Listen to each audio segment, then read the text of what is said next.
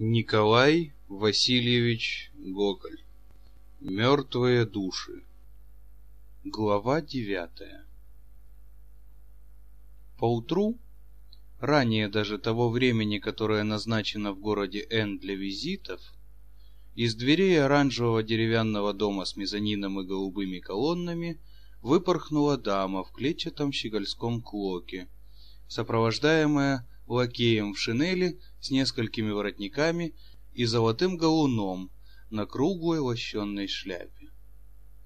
Дама вспорхнула в тот же час с необыкновенной поспешностью по откинутым ступенькам стоявшую у подъезда коляску. Лакей тут же захлопнул даму дверцами, закидал ступеньками и, ухватясь за ремни сзади коляски, закричал кучеру «Пошел!». Дама везла только что услышанную новость и чувствовала побуждение, непреодолимое скорее сообщить ее. Всякую минуту выглядывала она из окна и видела к несказанной досаде, что все еще остается полдороги. Всякий дом казался ей длиннее обыкновенного. Белая каменная богадельня с узенькими окнами тянулась нестерпимо долго, так что она наконец не вытерпела не сказать проклятое строение, и конца нет. Кучер уже два раза получал приказание «Поскорее, поскорее, Андрюшка, ты сегодня несносно долго едешь». Наконец цель была достигнута. Коляска остановилась перед деревянным же одноэтажным домом темно-серого цвета, с белыми барельефчиками над окнами, с высокой деревянной решеткой перед самыми окнами и узеньким полисадником, за решеткой которого – находившиеся тоненькие деревца побелели от никогда не сходившей с них городской пыли. В окнах мелькали горшки с цветами, попугай, качавшийся в клетке, уцепясь носом за кольцо, и две собачонки, спавшие перед солнцем. В этом доме жила искренняя приятельница приехавшей дамы. Автор чрезвычайно затрудняется, как назвать ему обеих дам таким образом, чтобы опять не рассердились на него – как серживались в старь. Назвать выдуманную фамилией опасно. Какое ни придумай имя, уж непременно найдется в каком-нибудь углу нашего государства, благо велико. Кто-нибудь носящий его и непременно рассердится не на живот, а на смерть, станет говорить, что автор нарочно приезжал секретно, с тем, чтобы выведать все, что он такое сам и в каком тулупчике ходит, и к какой Агафене Ивановне наведывается и что любит покушать. Назови же по чинам, Боже сохрани, и того опасней. Теперь у нас все чины и сословия так раздражены, что все, что не есть в печатной книге, уже кажется им личностью. Таково уж видно расположение в воздухе. Достаточно сказать только, что есть в одном городе глупый человек, это уже и личность. Вдруг выскочит господин почтенной наружности и закричит «Ведь я тоже, стало быть, я тоже глуп!» Словом, вмиг смекнет, в чем дело.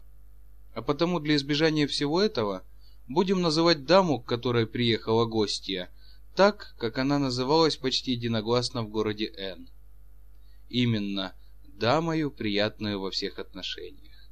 Это название она приобрела законным образом – ибо точно ничего не пожалела, чтобы сделаться любезною в последней степени. Хотя, конечно, сквозь любезность прокрадывалась ух, какая юркая прыть женского характера. И хотя подчас в каждом приятном слове ее торчала ух, какая булавка. А уж не приведи бог, что кипело в сердце против той, которая бы пролезла как-нибудь в чем-нибудь в первые. Но все это было облечено самой тонкою светскостью, какая только бывает в губернском городе. Всякое движение производила она со вкусом, даже любила стихи, даже иногда мечтательно умела держать голову, и все соглашались, что она точно дама, приятная во всех отношениях. Другая же дама, то есть приехавшая, не имела такой многосторонности в характере, и потому будем называть ее просто приятная дама.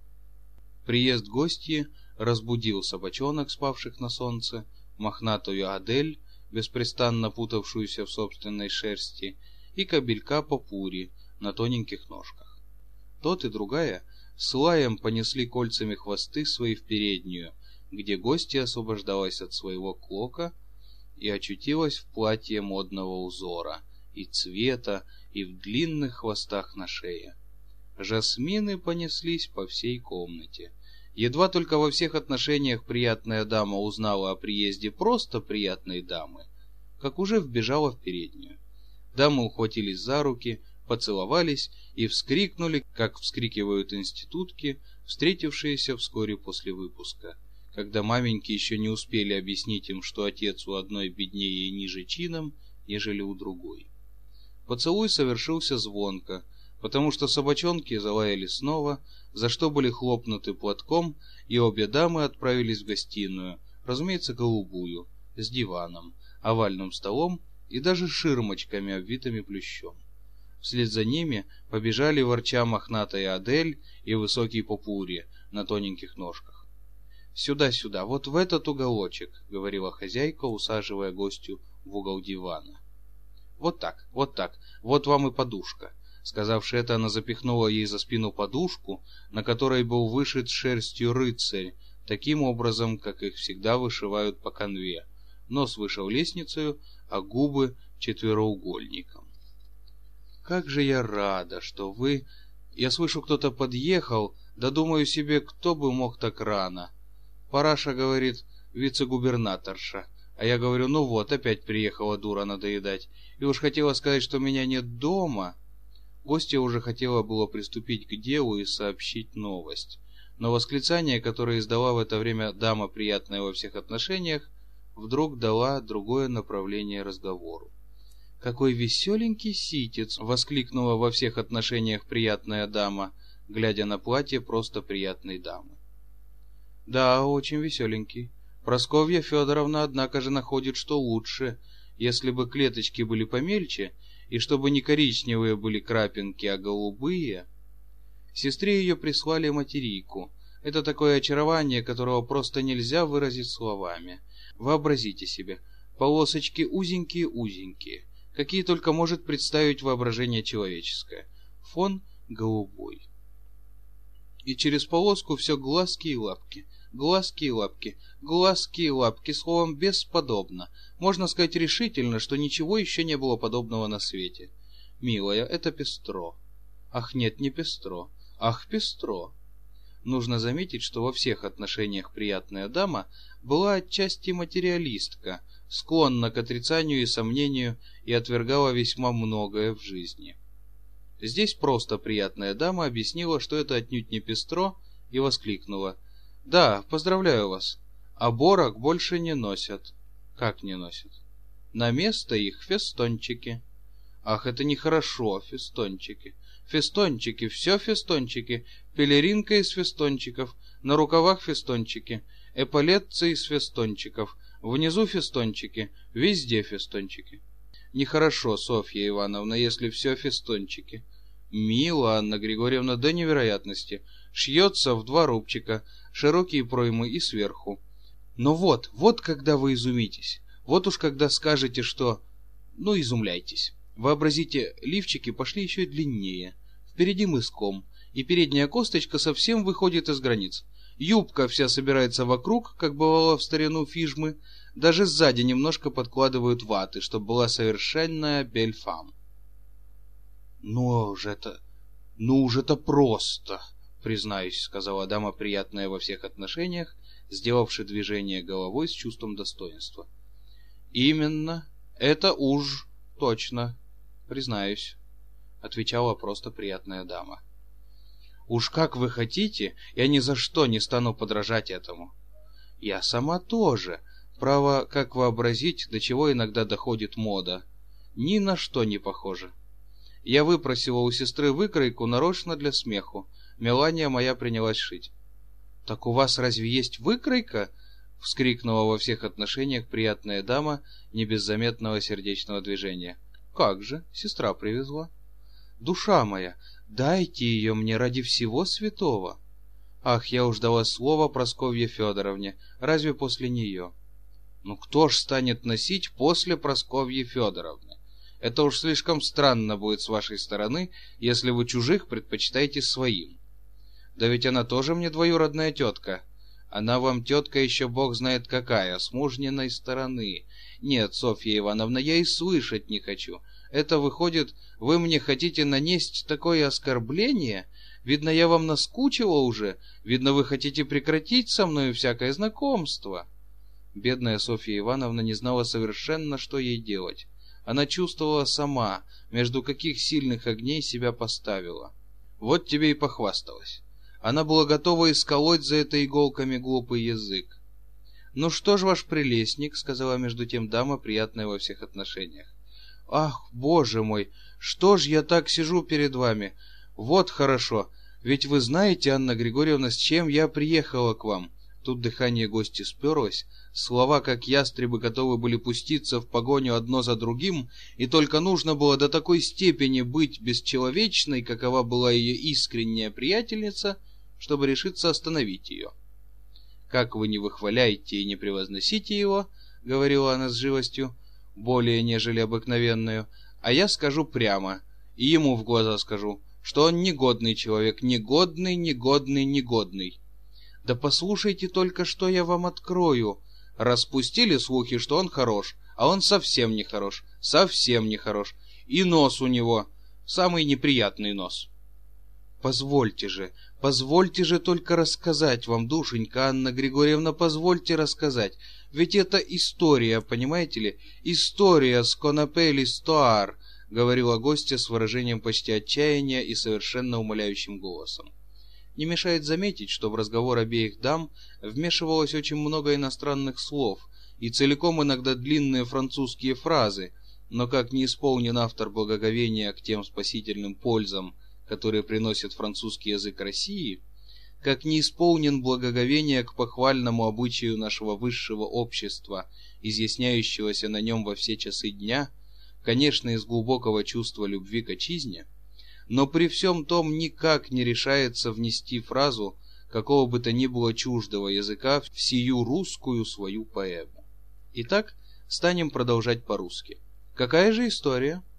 Ах, жизнь моя! Анна Григорьевна, если бы вы могли представить то положение, в котором я находилась, вообразите, приходит ко мне сегодня протопопша. Протопопша. Отца Кирилла жена.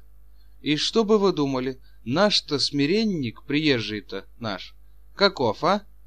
Как? Неужели он и протопопше строил куры? Ах, Анна Григорьевна, пусть бы еще куры, это бы еще ничего. Слушайте только, что рассказала протопопша.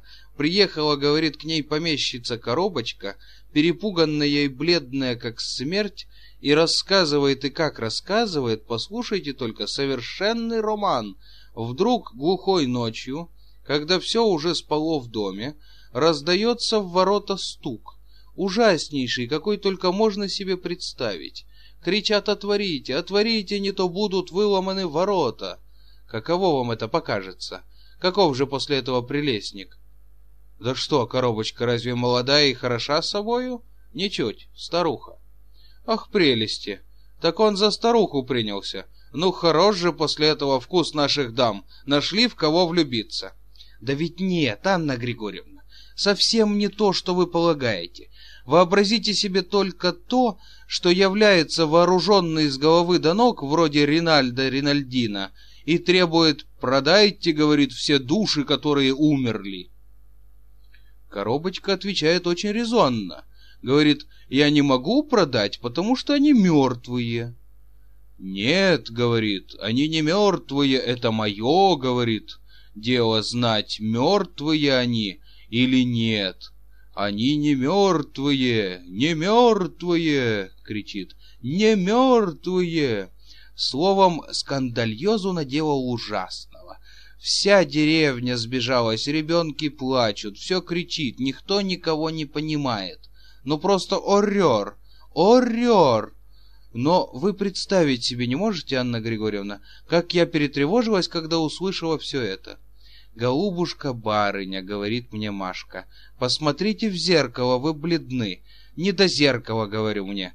«Я должна ехать рассказать Анне Григорьевне». В ту же минуту приказываю заложить коляску. Кучер Андрюшка спрашивает меня, куда ехать, а я ничего не могу и говорить. Гляжу просто ему в глаза, как дура. Я думаю, что он подумал, что я сумасшедшая. А Ханна Григорьевна, если бы вы только могли себе представить, как я встревожилась. Это, однако ж, странно, сказала во всех отношениях приятная дама. Что бы такое могли значить эти мертвые души? Я, признаюсь, тут ровно ничего не понимаю. Вот уже во второй раз я слышу про эти мертвые души, а муж мой еще говорит, что Ноздрев врет. Что-нибудь верно все же есть. Но представьте же, Анна Григорьевна, каково мое было положение, когда я услышала это. И теперь, говорит коробочка, я не знаю, что мне делать. Заставил, говорит, подписать меня какую-то фальшивую бумагу, бросил 15 рублей ассигнациями. Я, говорит, неопытная, беспомощная вдова. Я ничего не знаю. Так вот происшествие. Но только если бы вы могли сколько-нибудь себе представить, как я вся перетревожилась... Но только ваша воля здесь не мертвые души. Здесь скрывается что-то другое. Я признаюсь тоже, произнесла не без удивления просто приятная дама и почувствовала тут же сильное желание узнать, что бы такое могло здесь скрываться. Она даже произнесла с расстановкой, «А что же вы полагаете здесь скрывается?» «Ну, как вы думаете?» «Как я думаю?» «Я, признаюсь, совершенно потеряна». Но однако же я бы все же хотела знать, какие ваши насчет этого мысли. Но приятная дама ничего не нашлась сказать.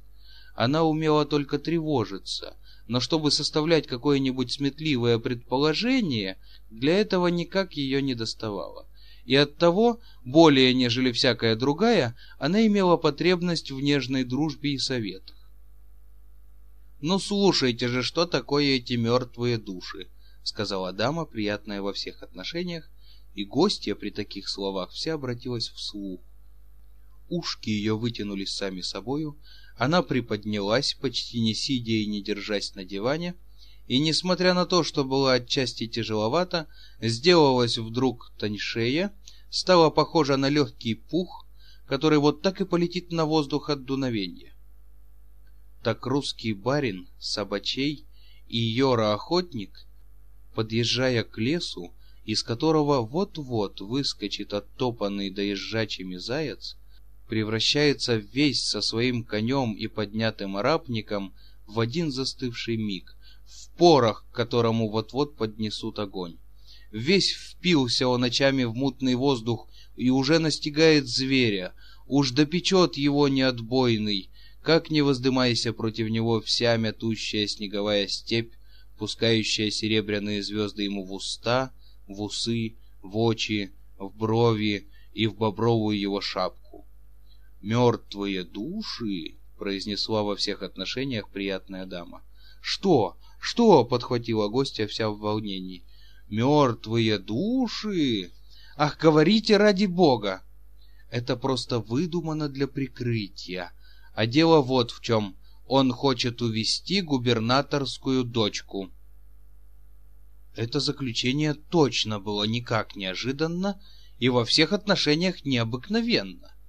Приятная дама, услышав это, так и окаменела на месте, побледнела, побледнела как смерть, и точно перетревожилась не на шутку.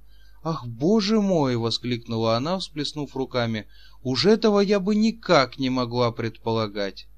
А я признаюсь, как только вы открыли рот, я уже смекнула, в чем дело, отвечала дама, приятная во всех отношениях. Но каково же после этого, Анна Григорьевна, институтское воспитание? Ведь вот невинность. Какая невинность? Я слышала, как она говорила такие речи, что, признаюсь, у меня не станет духа произнести их. Знаете, Анна Григорьевна, ведь это просто раздирает сердце, когда видишь, до чего достигла, наконец, безнравственность.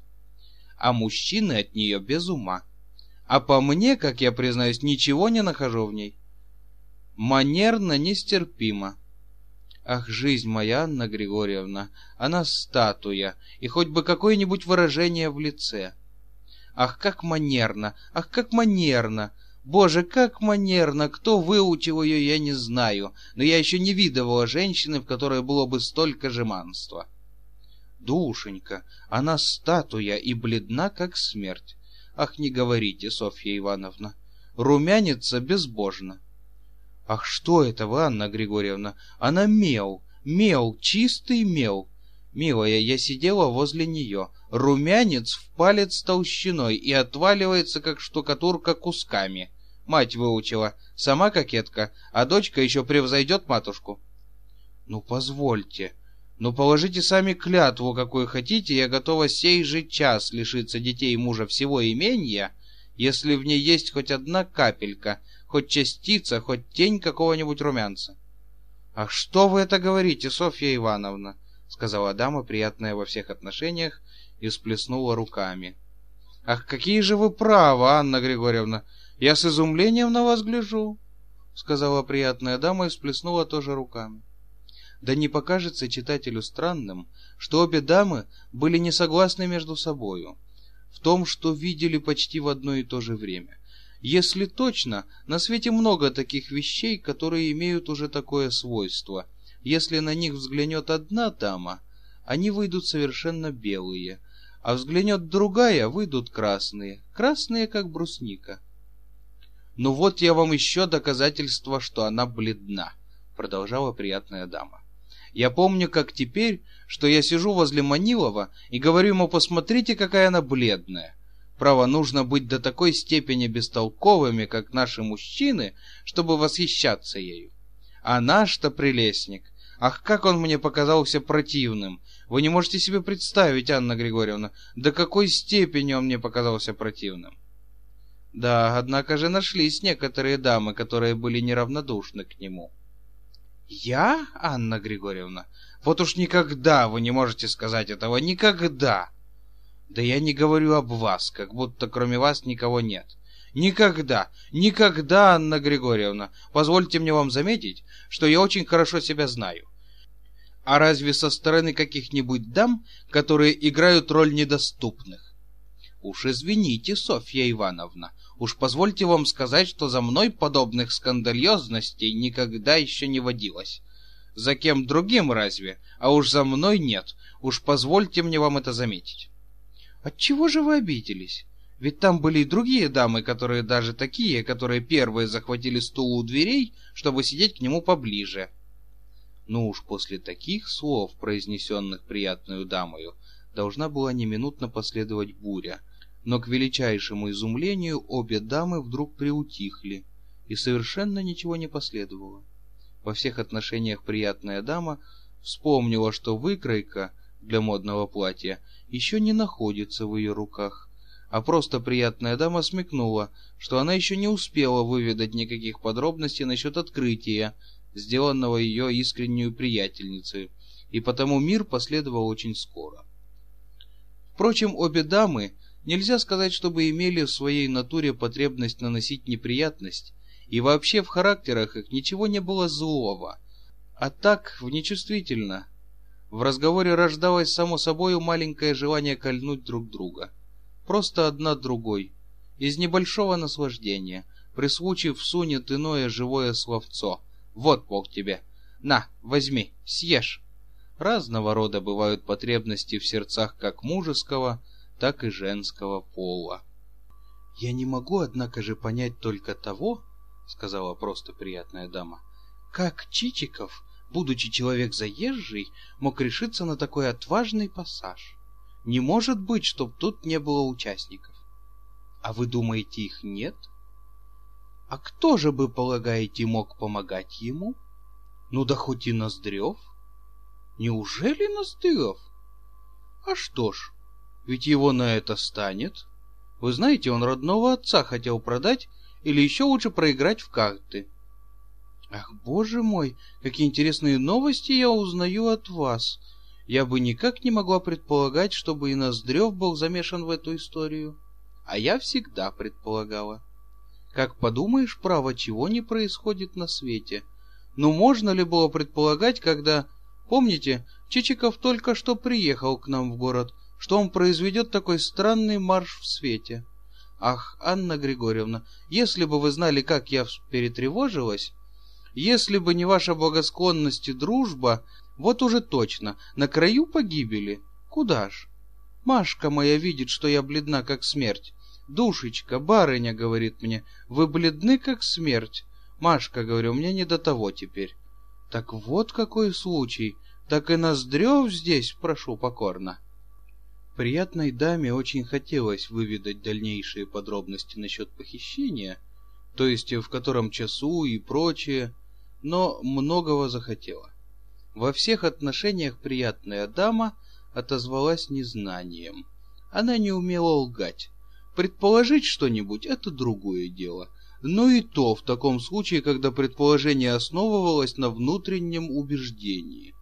Если ж было почувствовано внутреннее убеждение, тогда сумела она постоять за себя, и попробовал бы какой-нибудь дока-адвокат, славящийся даром, побеждать чужие мнения. Попробовал бы он состязаться здесь, увидел бы он, что значит внутреннее убеждение.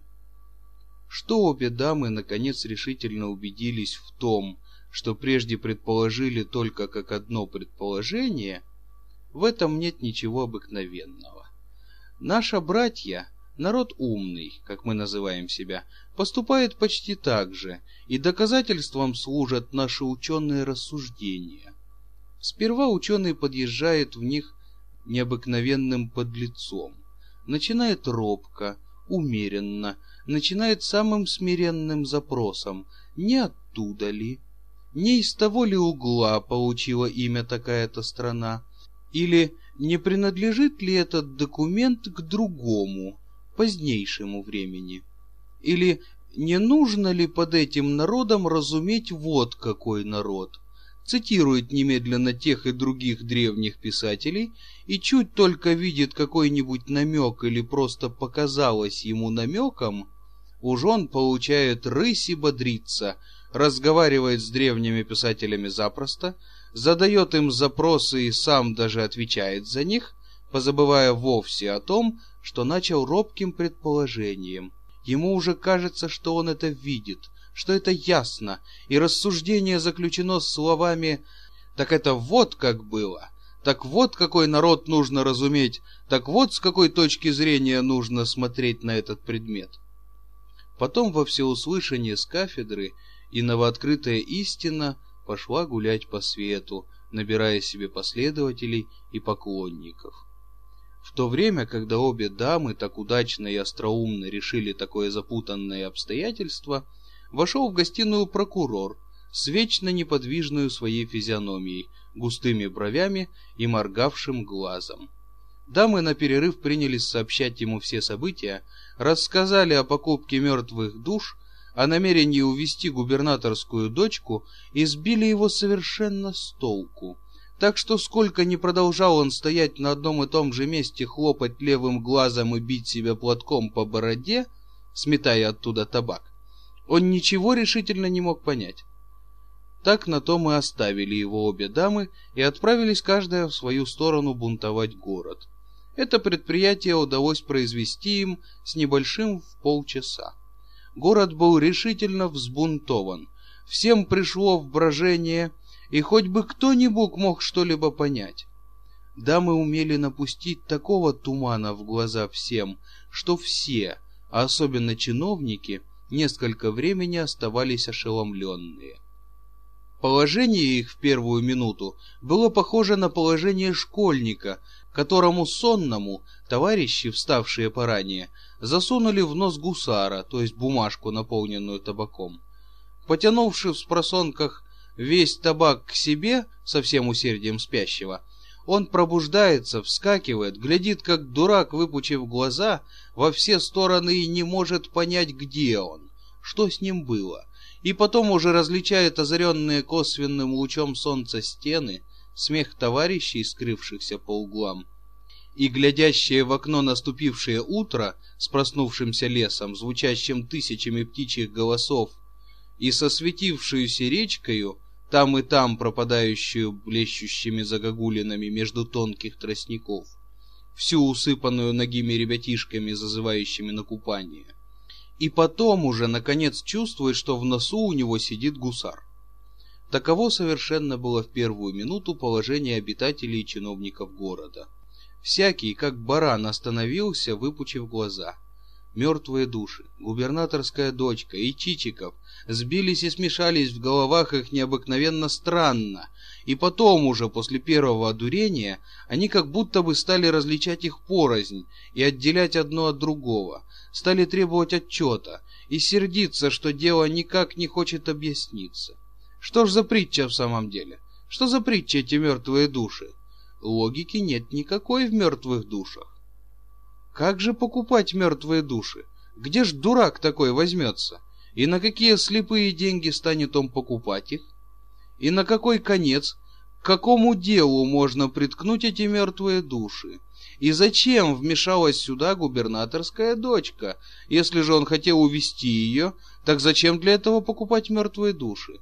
Если же покупать мертвые души, так зачем уводить губернаторскую дочку? Подарить, что ли, он хотел ей эти мертвые души? Что ж за вздор в самом деле разнесли по городу? Что ж за направление такое, что не успеешь поворотиться, а тут уже выпустят историю, и хоть бы какой-нибудь смысл был? Однако же разнесли, стало быть, была же какая-нибудь причина. Какая же причина в мертвых душах? Даже и причины нет. Это выходит просто. Андроны едут, чепуха, белиберда, сапоги в смятку. Это просто черт побери. Словом пошли толки. Толки и весь город заговорил про мертвые души и губернаторскую дочку, про Чичикова и мертвые души, про губернаторскую дочку и Чичикова, и все, что не есть, поднялось. Как вихрь взметнулся до толи, казалось, дремавший город. Вылезли из нор все тюрюки и бабайки, которые позалеживались в халатах по нескольку лет дома, сваливая вину то на сапожника, сшившего узкие сапоги, то на портного, то на пьяницу кучера. Все те, которые прекратили давно уже всякие знакомства и знались только как выражаться, с помещиками Завалишинами, да Полежаевыми, знаменитые термины произведения от глаголов «полежать» и «завалиться», которые в большом ходу у нас на Руси, все равно как фраза «заехать к Сопикову» или Храповицкому, означающая всякие мертвецкие сны на боку, на спине и во всех иных положениях, с захрапами, носовыми свистами и прочими принадлежностями. Все те, которых нельзя было выманить из дому даже зазывом на расхлебку 500-рублевой ухи с двухоршинными стерлядями и всякими тающими во рту кулебяками, Словом, оказалось, что город и люден, и велик, и населен как следует. Показался какой-то Сысой Пафнутьевич и Макдональд Карлович, о которых и не слышано было никогда. В гостиных заторчал какой-то длинный, длинный с простреленной рукой у такого высокого роста, что даже и не видано было. На улицах показались крытые дрожки, неведомые линейки, дребезжалки, колесосвистки, и заварилась каша. В другое время и при других обстоятельствах подобные слухи, может быть, и не обратили бы на себя никакого внимания, но город Н уже давно не получал совершенно никаких вестей. Даже не происходило в продолжении трех месяцев ничего такого, что называют в столицах камеражами. Что, как известно для города, то же, что современный подвоз съестных продуктов в городской толковне оказалось вдруг два совершенно противоположных мнения, и образовались вдруг две противоположные партии, мужская и женская. Мужская партия, самая бестолковая, обратила внимание на мертвые души. Женская занялась исключительно похищением губернаторской дочки. В этой партии, надо заметить к чести дам, было несравненно больше порядка и осмотрительности. Такого уже видно само назначение их быть хорошими хозяйками и распорядительницами. Все у них скоро приняло живой определенный вид, облеклось в ясные и очевидные формы, объяснилось, очистилось, одним словом вышла законченная картинка. Оказалось, что Чичиков давно уже был влюблен, и виделись они в саду при лунном свете, что губернатор даже бы отдал за него дочку, потому что Чичиков богат как жид, если бы причиной не была жена его, которую он бросил. Откуда они узнали, что Чичиков женат, это никому не было ведомо. И что жена, которая страдает от безнадежной любви, написала письмо к губернатору самое трогательное, и что Чичиков, видя, что отец и мать никогда не согласятся, решился на похищение. В других домах рассказывалось это несколько иначе, что у Чичикова нет вовсе никакой жены, но что он, как человек тонкий и действующий наверняка, предпринял с тем, чтобы получить руку дочери, начать дело с матери и имел с нею сердечную тайную связь, и что потом делал декларацию насчет руки дочери, но мать, испугавшись, чтобы не совершилось преступление противной религии, и, чувствуя в душе угрызение совести, отказала на отрез, и что вот почему Чичиков решился на похищение. Ко всему этому присоединялись многие объяснения и поправки, по мере того, как слухи проникали, наконец, в самые глухие переулки. На Руси же общество низшие очень любят поговорить о сплетнях, бывающих в обществах высших, а потому начали обо всем этом говорить в таких домишках, что даже в глаза не видывали и не знали Чичикова. Пошли прибавления и еще большие пояснения – Сюжет становился ежеминутно занимательнее, принимал с каждым днем более окончательные формы и, наконец, так как есть во всей своей окончательности, доставлен был в собственные уши губернаторши. Губернаторша, как мать семейства, как первая в городе дама, наконец, как дама, не подозревавшая ничего подобного, была совершенно оскорблена подобными историями и пришла в негодование во всех отношениях справедливое бедная блондинка выдержала самый неприятный тет-а-тет, -тет, который только когда-либо случалось иметь шестнадцатилетней девушке. Полились целые потоки расспросов, допросов, выговоров, угроз, упреков, увещеваний, так что девушка бросилась в слезы, рыдала и не могла понять ни одного слова. Швейцару дан был строжайший приказ не принимать ни в какое время и ни под каким видом Чичикова сделавши свое дело относительно губернаторши, дамы насели было на мужскую партию, пытаясь склонить их на свою сторону, и утверждая, что мертвые души — выдумка и употреблена только для того, чтобы отвлечь всякое подозрение и успешнее провести похищение. Многие даже из мужчин были совращены и пристали к их партии, несмотря на то, что подвергнулись сильным нареканиям от своих же товарищей, обругавших их бабами и юбками, именами, как известно, очень обидными для мужского пола. Но как ни вооружались и не противились мужчины, а в их партии совсем не было такого порядка, как в женской. Все у них было как-то черство, неотесанно, неладно, негоже, нестройно, нехорошо — а в голове кутерьма, сутолока, сбивчивость, неопрятность в мыслях, одним словом так и вызначилась во всем пустая природа мужчины, природа грубая, тяжелая, неспособная к домостроительству, ни к вечным убеждениям, маловерная, ленивая, исполненная беспрерывных сомнений и вечной боязни. Они говорили, что все это вздор, что похищение губернаторской дочки более дело гусарское, нежели гражданское, что Чичиков не сделает этого, что бабы врут, что баба что мешок, что положат, то несет, что главный предмет, на который нужно обратить внимание, есть мертвые души, которые, впрочем, черт его знает, что значат. Но в них заключено, однако же, весьма скверное и нехорошее. Почему казалось мужчинам, что в них заключалось скверное и нехорошее, сию минуту узнаем. В губернию назначен был новый генерал-губернатор. Событие, как известно, приводящее чиновников в тревожное состояние. Пойдут переборки, распекания, взбутетенивания и всякие должностные похлебки, которыми угощает начальник своих подчиненных. Ну что, думали чиновники, если он узнает только просто, что в городе их вот где какие глупые слухи, да за это одно может вскипятить не на жизнь, а на самую смерть. Инспектор врачебной управы вдруг побледнел. Ему представилось бог знает что.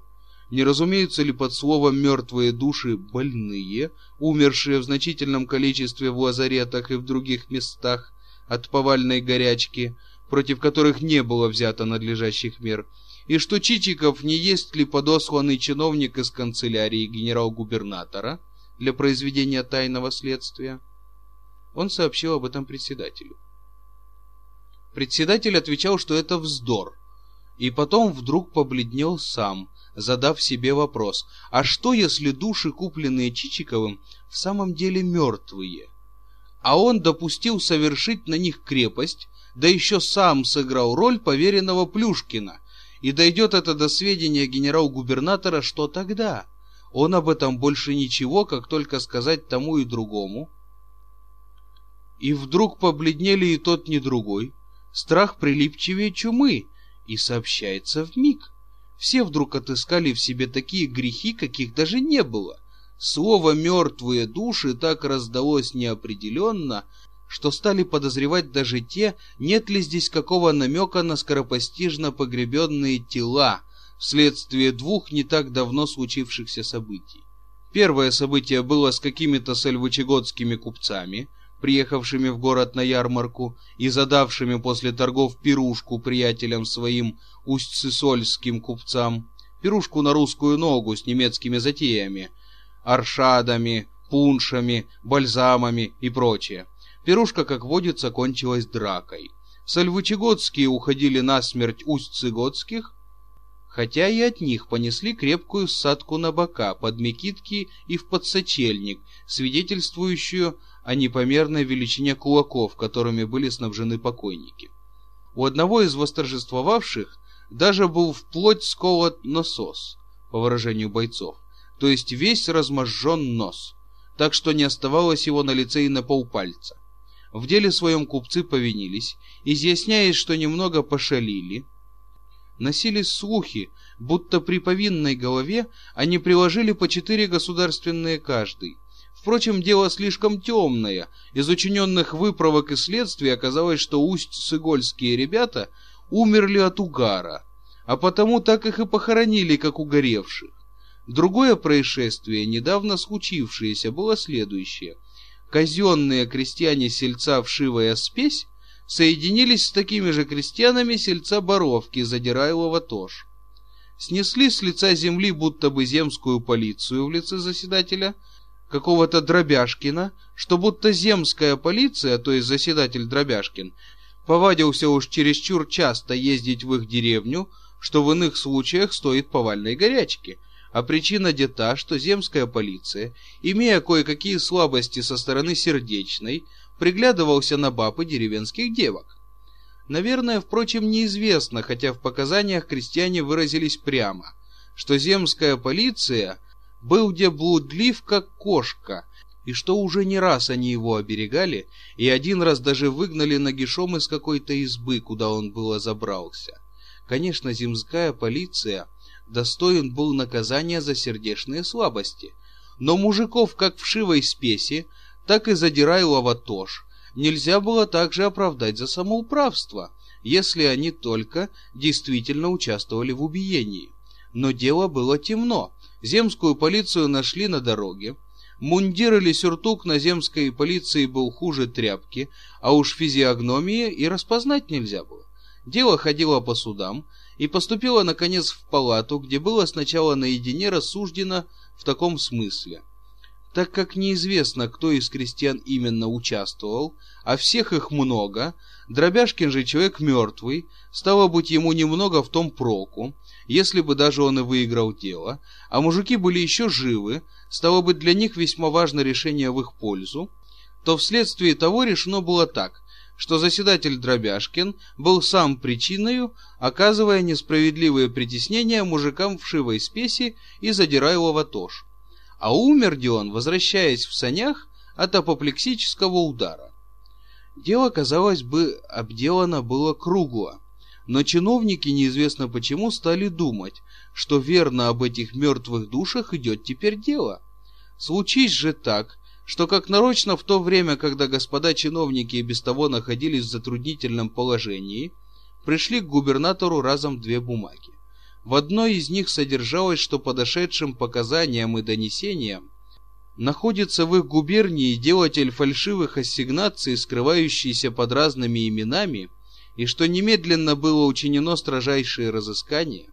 Другая бумага содержала в себе отношение губернатора соседственной губернии о убежавшем от законного преследования разбойнике, и что, будь окажется в их губерниях какой подозрительный человек, не предъявляющий никаких свидетельств и паспортов, то задержать его немедленно. Эти две бумаги так ошеломили всех. Прежние заключения и догадки совсем были сбиты с толку. Конечно, никак нельзя было предполагать, чтобы тут относилось что-нибудь к Чичикову. Однако ж все как поразмыслили каждый со своей стороны, как припомнили, что они еще не знают, кто таков на самом деле есть Чичиков, что он сам весьма неясно отзывался насчет собственного лица, говорил, правда, что потерпел по службе за правду, да ведь все это как-то неясно. И когда вспоминали при этом, что он даже выразился, будто имел много неприятелей, покушавшихся на жизнь его, то задумались еще более. Стало быть, жизнь его была в опасности. Стало быть, его преследовали. Стало быть, он ведь сделал уже что-нибудь такое. Да кто же в самом деле такой? Конечно, нельзя думать, чтобы он мог делать фальшивые бумажки, а тем более быть разбойником. Наружность благонамеренна, но при всем том, кто же бы, однако же, он такой был на самом деле?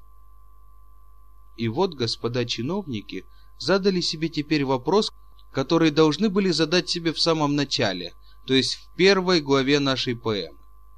Решено было еще сделать несколько расспросов тем, у которых были куплены души, чтобы по крайней мере узнать, что за покупки и что именно нужно разуметь под этими мертвыми душами.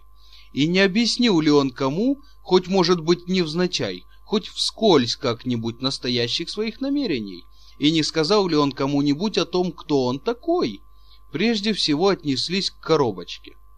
Но тут почерпнули немного, купил где за 15 рублей, и птичьи перья тоже покупает, и много всего обещался накупить, в казну сало тоже ставит, и потому, наверное, плут.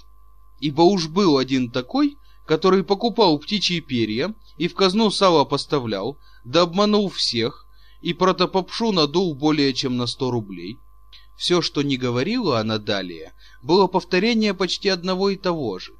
И чиновники увидели только, что коробочка просто была глупая старуха. Манилов отвечал, что за Павла Ивановича всегда готов ручаться как за самого себя что он бы пожертвовал всем своим имением, чтобы иметь сотую долю качеств Павла Ивановича, и отозвался о нем вообще в самых лестных выражениях, присовокупив несколько мыслей насчет дружбы, уже с зажмуренными глазами. Эти мысли, конечно, удовлетворительно объяснили нежное движение его сердца, но не объяснили чиновникам настоящего дела. Собакевич отвечал, что Чичиков, по его мнению, человек хороший, а что крестьян он ему продал на выбор, и народ во всех отношениях живой, но что он не ручается за то, что случится впредь, что если они попримрут во время трудностей переселения в дороге, то не его вина, и в том властен Бог. А горячек и разных смертоносных болезней есть на свете немало, и бывают примеры, что вымирают где целые деревни. Господа чиновники прибегнули еще к одному средству, не весьма благородному, но которое аж однако иногда употребляется – то есть э, стороною посредством разных лакейских знакомств, расспросить людей Чичикова, не знают ли они каких подробностей насчет прежней жизни и обстоятельств барина, но услышали тоже немного. От Петрушки услышали только запах жилого покоя, а от Селифана, что сполнял службу государскую, да служил прежде по таможне, и ничего более. У этого класса людей есть весьма странный обычай – если его спросить прямо о чем-нибудь, он никогда не вспомнит, не приберет всего в голову и даже просто ответит, что не знает. А если спросить о чем-то другом, то тут-то он и приплетет его и расскажет с такими подробностями, которых и знать не захочешь. Все поиски, производимые чиновниками, открыли им только то, что они наверняка никак не знают, что такое Чичиков. А что, однако же, Чичиков что-нибудь да должен быть непременно. Они положили, наконец, потолковать окончательно об этом предмете и решить, по крайней мере, что и как им делать, и какие меры предпринять, и что такое он именно, такой ли человек, которого нужно задержать и схватить, как неблагонамеренного, или же он такой человек, который может сам схватить и задержать их всех, как неблагонамеренных. Для всего этого предположено было собраться нарочно у полицмейстера, уже известного читателям отца и благодетеля народа.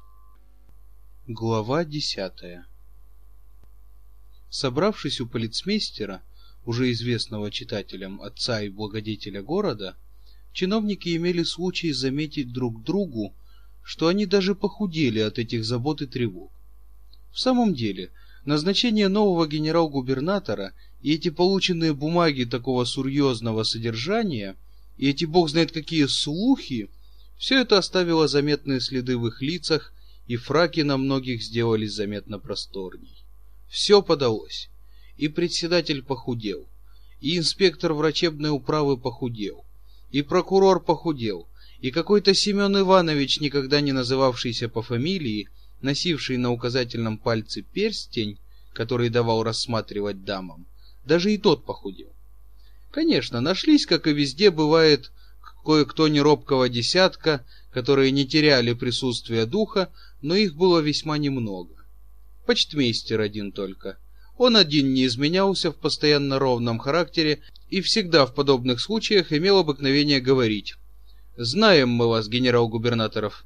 Вас, может быть, три-четыре переменится, а я вот уже тридцать лет, сударь мой, сижу на одном месте». На это обыкновенно замечали другие чиновники. «Хорошо тебе, Спрехензи Дейч Иван Андреевич. У тебя дело почтовое, принять да отправить экспедицию. Разве только надуешь, заперши присутствие часом раньше, да возьмешь с опоздавшего купца за прием письма в неуказанное время или перешлешь иную посылку, которую не следует пересылать. Тут, конечно, всякий будет святой. А вот пусть к тебе повадится черт подвертываться всякий день под руку, так что вот и не хочешь брать, а он сам сует. Тебе, разумеется, с пологоря — а у тебя один сынишка, а тут брат Просковью Федоровну наделил Бог такой благодатью, что год то несет либо Проскушку, либо Петрушку. Тут, брат, другое запоешь. Так говорили чиновники, и можно ли в самом деле устоять против черта, об этом судить не авторское дело. В собравшемся на сей раз совете очень заметно было отсутствие той необходимой вещи, которую в простонародье называют толком. Вообще, мы как-то не создались для представительных заседаний. Во всех наших собраниях, начиная от крестьянской мирской сходки до всяких возможных ученых и прочих комитетов, если в них нет одной главы, управляющей всем, присутствует припорядочная путаница. Трудно даже и сказать, почему это. Видно, уже народ такой. Только и удаются те совещания, которые составляются для того, чтобы покутить или пообедать как-то клубы и всякие воксалы на немецкую ногу. А готовность всякую минуту есть, пожалуй, на все. Мы вдруг как ветер повеет, заведем общество благотворительные, поощрительные и невесть какие. Цель будет прекрасна, а при всем том ничего не выйдет. Может быть, это происходит от того, что мы вдруг удовлетворяемся в самом начале и уже почитаем, что все сделано. Например, затеявший какое-нибудь благотворительное общество для бедных и пожертвовавший значительные суммы, мы тотчас в ознаменовании такого похвального поступка задаем обед всем первым сановникам города. Разумеется, наполовину всех пожертвованных сумм. На остальные нанимается тут же для комитета великолепная квартира с отоплением и сторожками, а затем и остается всей суммы для бедных пяти рублей с полтинною – да и тут в распределении этой суммы еще не все члены согласны между собою, и всякий сует какую-нибудь свою кумку. Впрочем, собравшееся ныне совещание было совершенно другого рода. Оно образовалось вследствие необходимости. Ни о каких-либо бедных или посторонних шло дело, дело касалось всякого чиновника лично. Дело касалось беды, всем давно грозившей. Стало быть, по неволе Тут должно быть единодушнее, теснее. Но при всем том вышло черт знает что такое. Не говоря уже о разногласиях, свойственных всем советам, во мнении собравшихся обнаружилась какая-то даже непостижимая нерешительность. Один говорил, что Чичиков делатель государственных ассигнаций. И потом сам прибавлял, а может быть и не делатель. Другой утверждал, что он чиновник генерал-губернаторской канцелярии – и тут же присовокуплял, а впрочем, черт его знает, на лбу ведь не прочтешь. Против догадки, не переодетый или разбойник вооружились все. нашли что сверхнаружности, которая сама по себе была уже благонамеренна. В разговорах его ничего не было такого, которое бы показывало человека с буйными поступками. Вдруг почтмейстер, остававшийся несколько минут погруженным в какое-то размышление, вследствие или внезапного вдохновения осенившего его, или чего иного, вскрикнул неожиданно «Знаете ли, господа, кто это?» Голос, которым он произнес это, заключал в себе что-то потрясающее, так что заставил вскрикнуть всех в одно время. «А кто?» «Это, господа, сударь мой, никто другой, как капитан Копейкин». А когда все тут же в один голос спросили, кто таков этот капитан Копейкин, почтмейстер сказал, «Так вы не знаете, кто такой Копейкин?» Все отвечали, что никак не знают, кто таков капитан Копейкин. «Капитан Копейкин», — сказал почтмейстер, открывший свою табакерку только в половину, из боязни, чтобы кто-нибудь из соседей не запустил туда своих пальцев, чистоту которых он плохо верил и даже имел обыкновение приговаривать. «Знаем, батюшка, вы пальцами своими, может быть, не весть в какие места наведываетесь, а табак — вещь, требующая чистоты». «Капитан Копейкин», — сказал почтмейстер, уже понюхавший табаку. «Да ведь это, впрочем, если рассказывать, выйдет призанимательная для какого-нибудь писателя в некотором роде целая поэма». Все присутствующие изъявили желание узнать эту историю, или, как выразился почтмейстер, призанимательную для писателя в некотором роде целую поэму. И он начал так. Повесть о капитане Копейкине. После кампании двенадцатого года, сударь ты мой, так начал почтмейстер, несмотря на то, что в комнате сидел не один сударь, а целых шестеро. После кампании двенадцатого года вместе с ранеными прислан был и капитан Копейкин. Под Красным ли или под Лейпцигом, только можете вообразить, ему оторвало руку и ногу. Ну, тогда еще не сделано было насчет раненых никаких, знаете, эдаких распоряжений. Этот какой-нибудь инвалидный капитал был уже заведен, можете представить себе в некотором роде гораздо после. Капитан Копейкин видит, нужно работать бы. Только рука-то у него, понимаете, левая. Наведался было домой к отцу, отец говорит, мне нечем тебя кормить. Я, можете представить себе, сам едва достаю хлеб. Вот мой капитан Копейкин решил отправиться, сударь мой, в Петербург, чтобы просить государя, не будет ли какой монаршей милости. Что вот где так и так, в некотором роде, так сказать, жизнью жертвовал, проливал кровь, ну как-то там, знаете, с обозами или фурами казенными. Словом, сударь мой, дотащился он кое-как до Петербурга. Но можете представить себе, эдакий какой-нибудь, то есть капитан Копейкин, и очутился вдруг в столице, которой подобной, так сказать, нет в мире. Вдруг перед ним свет, так сказать, некоторое поле жизни, сказочная Шахерезада.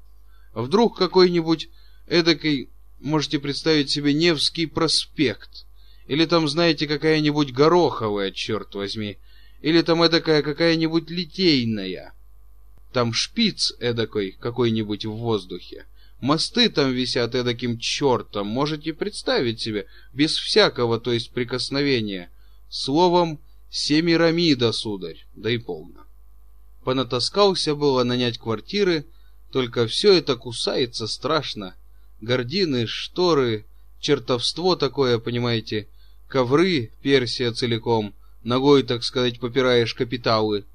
Ну, просто, то есть, идешь по улице, а уж нос твой так и слышит, что пахнет тысячами. А у моего капитана Копейкина весь ассигнационный банк, понимаете, состоит из каких-нибудь десяти синюх. Ну, как-то там приютился в ревельском трактире за рубль в сутки, обед щи, кусок битой говядины. Видит, заживаться нечего. Расспросил, куда обратиться. Говорят, есть в некотором роде высшая комиссия. Правление, понимаете, эдакое. С начальником генерал-аншеф какой-то. А государя, нужно вам знать, в то время не было еще в столице. Войска, можете себе представить, еще не возвращались из Парижа. Все было за границей. Копейкин мой, вставший поранее, поскреб себе левой рукой бороду, потому что платить цирюльнику это составит в некотором роде счет, натащил на себя мундиришку и на деревяшке своей, можете вообразить, отправился к самому начальнику, к вельможе. Расспросил квартиру. Вон, говорят, указав ему дом на Дворцовой набережной. Избенка, понимаете, мужичья. Стеклушки в окнах можете себе представить.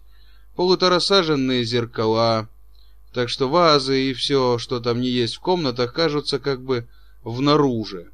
Мог бы в некотором роде достать с улицы рукой драгоценные мраморы на стенах, металлические галантереи, какая-нибудь ручка у дверей, так что нужно, знаете, забежать вперед в мелочную лавку, докупить на грош мыло, да прежде два часа тереть им руки, да потом уже решиться ухватиться за нее. Словом, лаки на всем такие, в некотором роде умопомрачения. Один швейцар уже смотрит генералиссимусом, вызолоченная булава, графская физиогномия, как откормленный жирный мопс какой-нибудь, батистовые воротнички — канальство.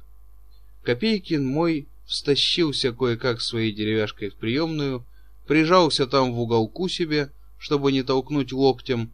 Можете себе представить какую-нибудь Америку или Индию.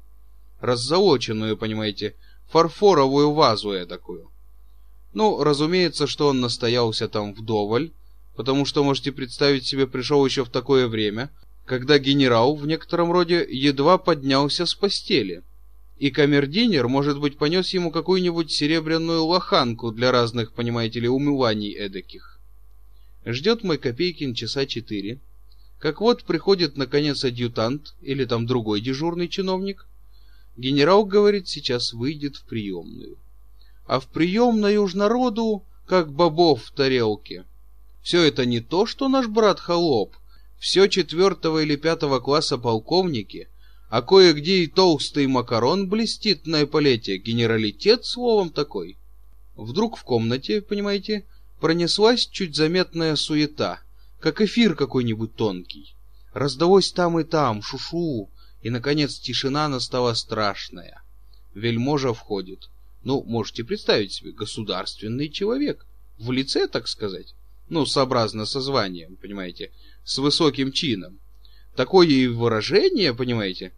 Все, что ни было в передней, разумеется, в ту же минуту в струнку, ожидает, дрожит, ждет решения в некотором роде судьбы. Министр или вельможа подходит к одному, к другому. Зачем вы? Зачем вы? Что вам угодно? Какое ваше дело? Наконец, сударь мой, Копейкину. Копейкин, собравшись с духом, так и так, ваше превосходительство, проливал кровь, лишился в некотором роде руки и ноги, работать не могу, осмеливаюсь спросить монаршей милости. Министр видит человек на деревяшке, и правый рукав пустой пристегнут к мундиру. Хорошо, говорит. Понаведайтесь на днях. Копейкин мой выходит чуть не в восторге. Одно то, что удостоился аудиенции, так сказать, с первостатейным вельможею, а другое то, что вот, наконец, решится в некотором роде насчет пенсиона, в духе, понимаете ли, таком подпрыгивает по тротуару, зашел в Палкинский трактир выпить рюмку водки, пообедал, сударь мой, в Лондоне, приказал подать себе котлетку с каперсами, пулярку спросил с разными финтерлеями, спросил бутылку вина, в вечеру отправился в театр, одним словом, понимаете, кутнул. На тротуаре, видит, идет какая-то стройная англичанка, как лебедь, можете себе представить эдакий. Мой Копейкин кровь-то, знаете ли, разыгралась в нем.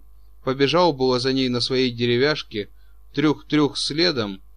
Да нет, подумал, пусть после, когда получу пенсион, теперь уж я что-то расходился слишком. Вот, сударь мой, каких-нибудь через три-четыре дня является Копейкин мой снова к министру. Дождался выходу. Так и так, говорит. Пришел, говорит, услышать приказ вашего высокопревосходительства по одержимым болезням и за ранами. И тому подобное. Понимаете, в должностном слоге. Вельможа, можете вообразить, тотчас его узнал. А, говорит, хорошо, а, говорит, На этот раз ничего не могу сказать вам более. Как только то, что вам нужно будет ожидать приезда государя. Тогда без сомнения будут сделаны распоряжения насчет раненых, а без монаршей, так сказать, воли я ничего не могу сделать. Поклон, понимаете, и прощайте. Копейкин, можете вообразить себе, вышел в положении самом неопределенном. Он-то уже думал, что вот ему завтра так и выдадут деньги. На тебе, голубчик, пей да веселись. А вместо того ему приказано ждать. Да и время не назначено. Вот он с совой такой вышел с крыльца, как пудель, понимаете, которого повар облил водой, и хвост у него между ног, и уши повесил. Ну нет, думает себе, пойду в другой раз. Объясню, что последний кусок доедаю. Не поможете, должен умереть в некотором роде с голода. Словом, приходит он, сударь мой, опять на Дворцовую набережную. Говорят, нельзя, не принимает.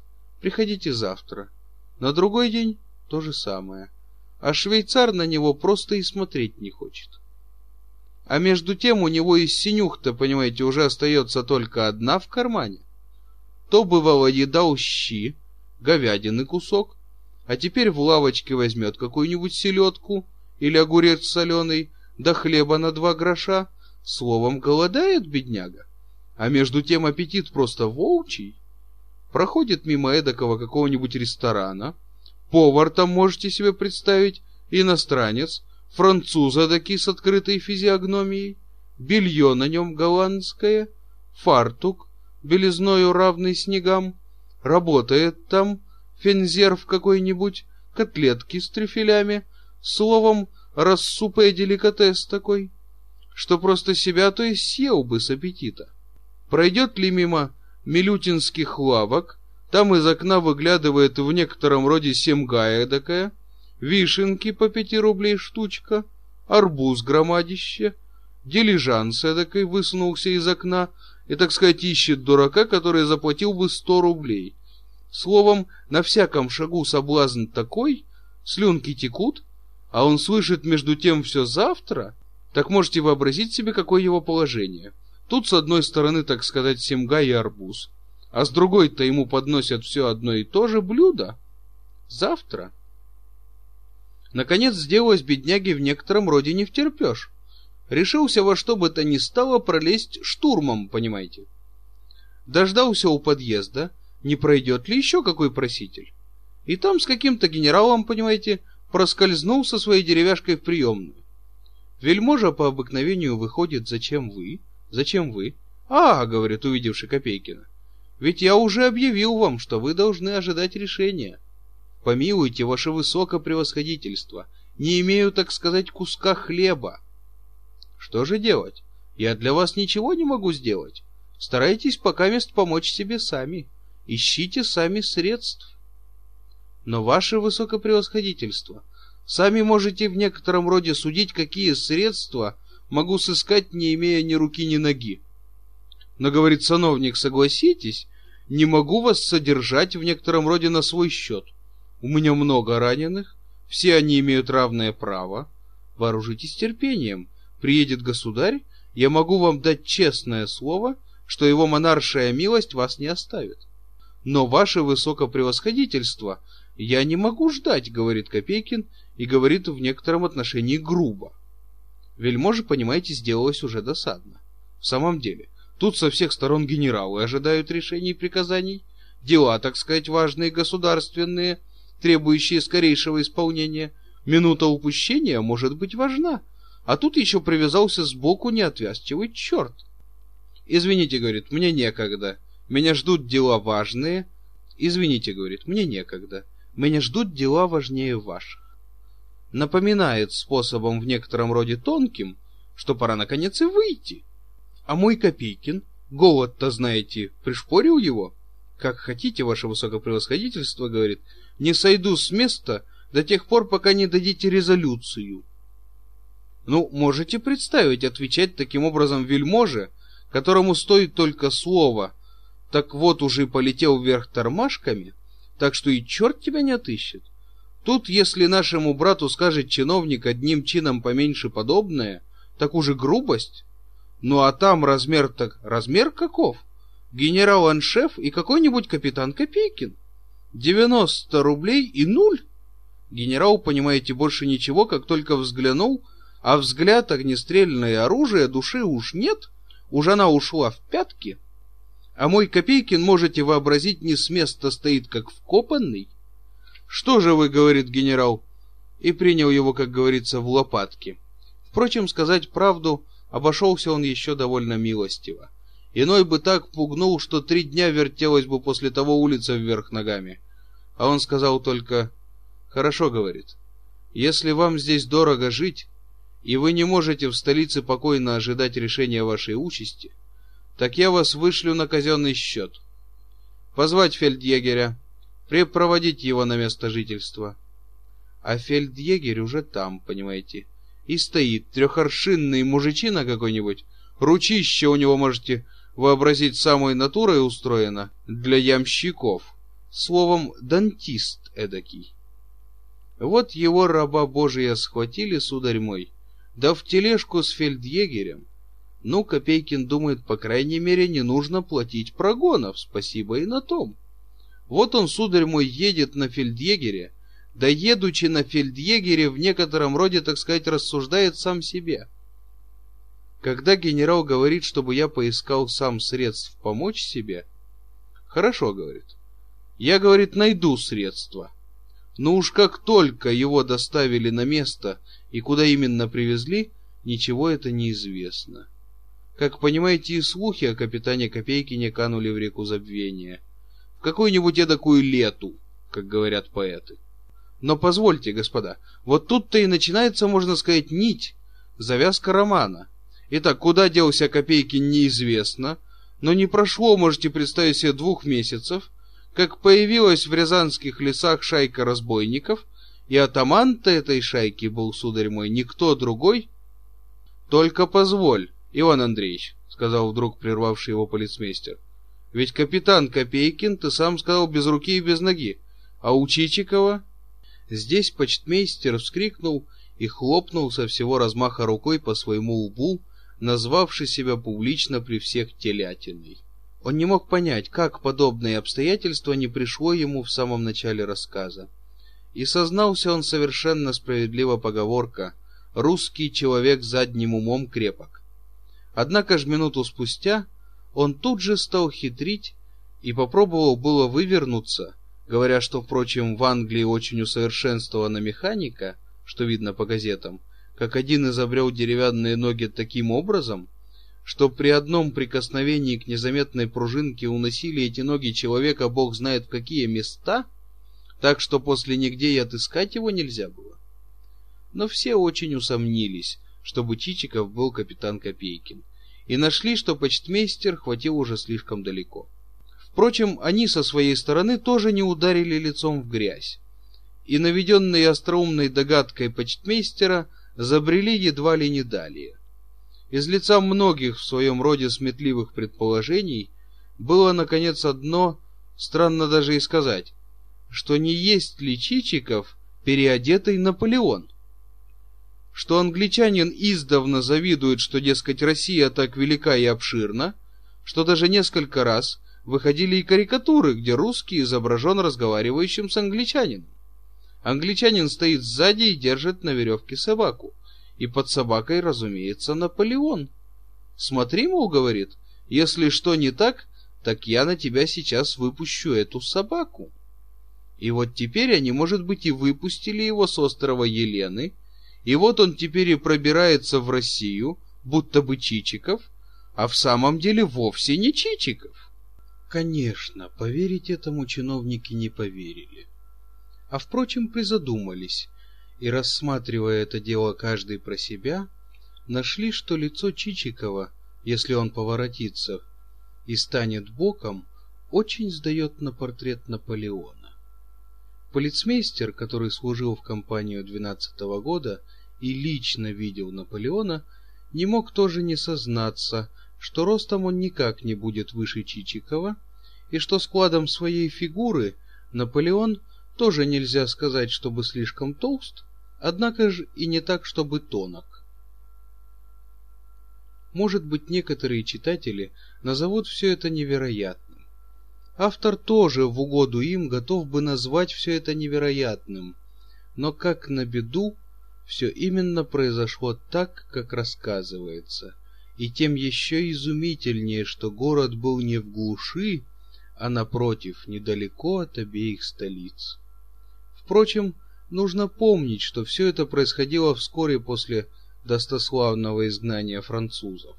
В это время все наши помещики, чиновники, купцы, сидельцы и всякий грамотный и даже неграмотный народ сделались, по крайней мере, на целые восемь лет заклятыми политиками. Московские ведомости и сын Отечества зачитывались немилосердно и доходили к последнему чтецу в кусочках, негодных ни на какое употребление.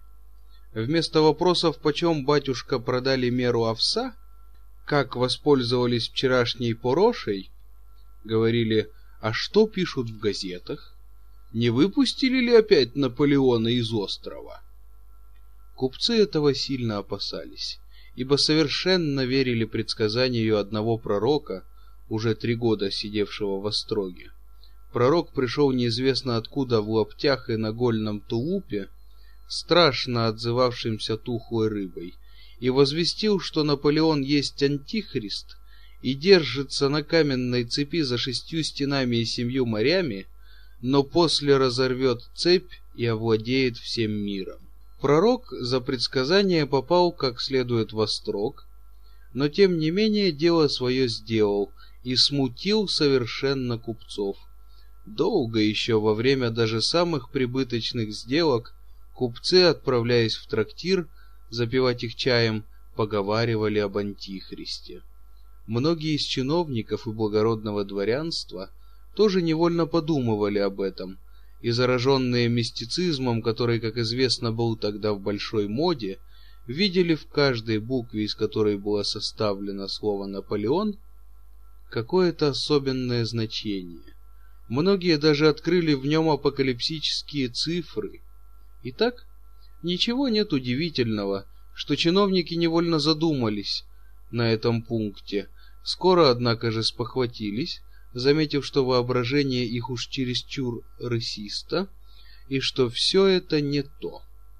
Думали, думали, толковали, толковали, и, наконец, решили, что не худо бы еще раз спросить хорошенько Ноздрева, так как он первый вынес историю о мертвых душах и был, как говорится, в каких-то тесных отношениях с Чичиковым. Стало быть, без сомнения знает кое-что из обстоятельств его жизни. То попробовать еще, что скажет Ноздрев. Странные люди эти господа чиновники, а за ними и все прочие звания. Ведь очень хорошо знали, что Ноздрев лгун, что ему нельзя верить ни в одном слове, ни в самой безделице — а между тем именно прибегнули к нему.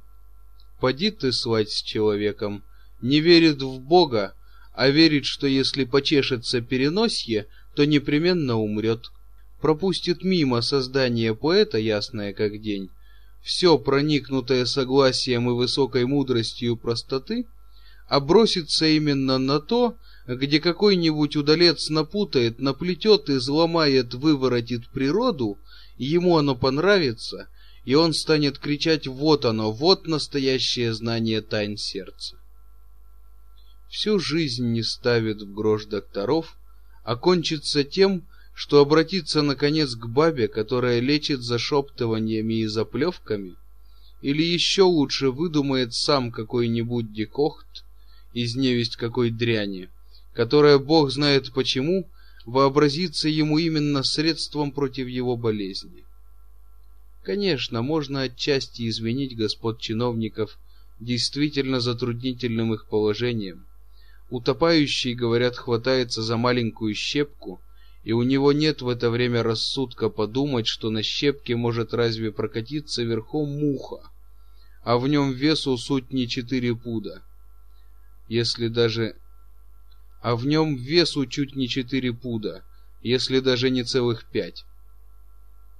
Но не приходит ему в то время соображение в голову, и он хватается за щепку. так и господа наши ухватились наконец из-за Ноздрева. Полицмейстер в ту же минуту написал к нему записочку пожаловать на вечер, и квартальный в ботфортах и привлекательным румянцем на щеках побежал в ту же минуту, придерживая шпагу, прискочку на квартиру Ноздрева.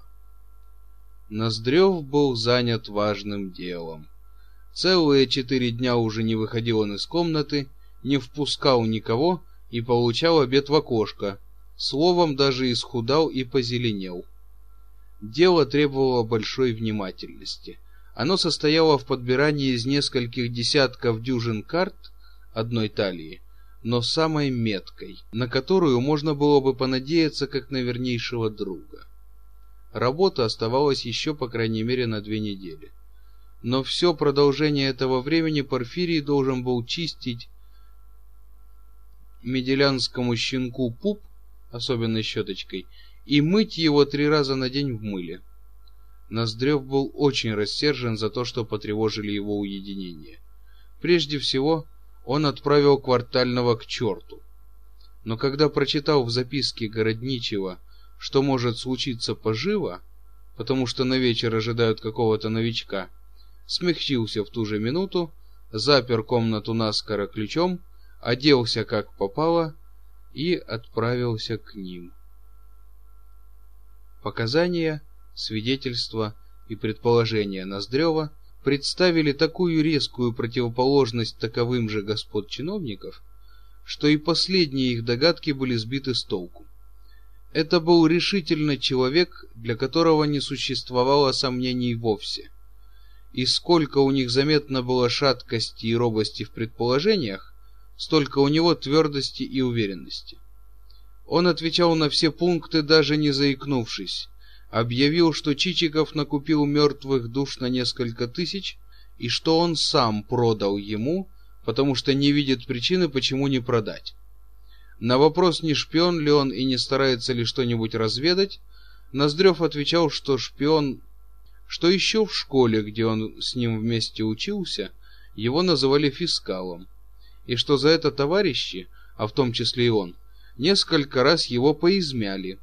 Так что нужно было потом приставить к одним вискам так что нужно было потом к одним вискам приставить 240 пиявок. То есть он хотел сказать 40, но 200 оказалось как-то само собой.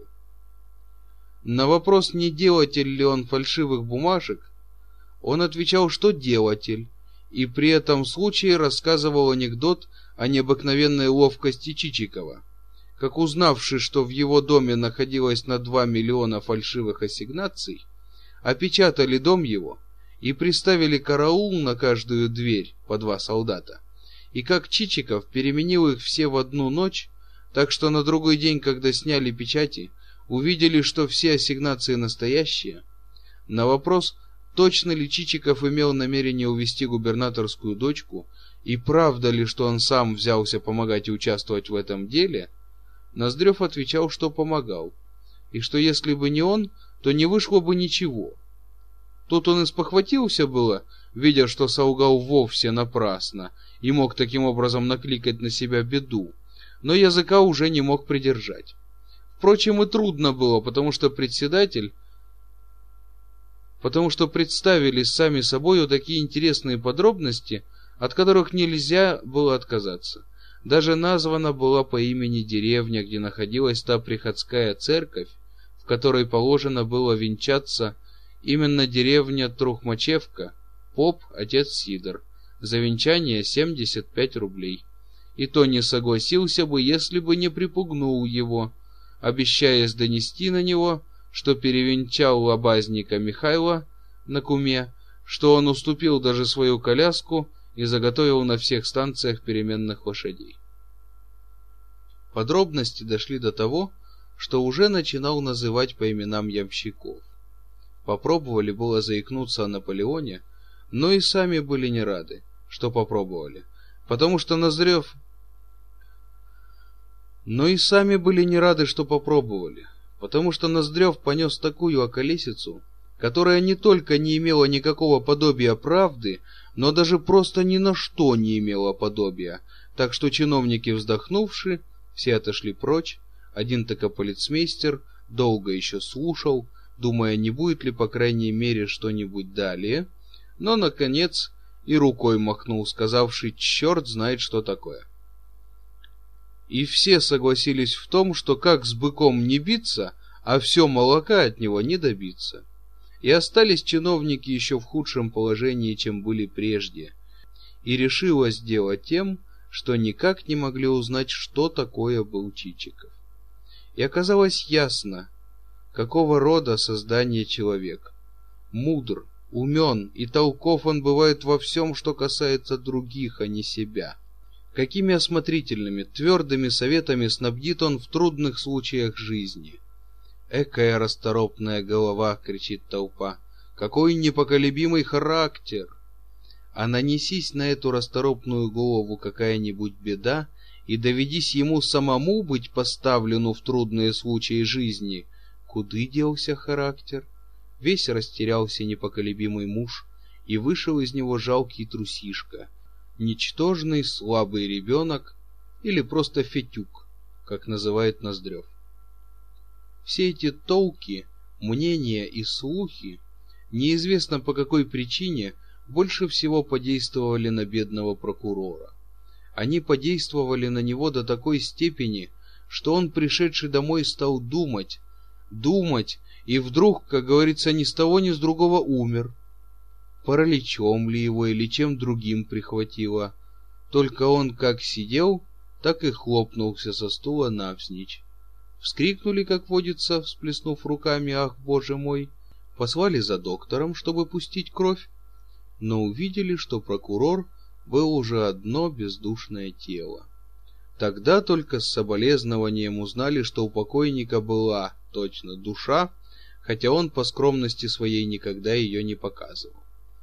А между тем, появление смерти также было страшно в малом, как страшно оно и в великом человеке.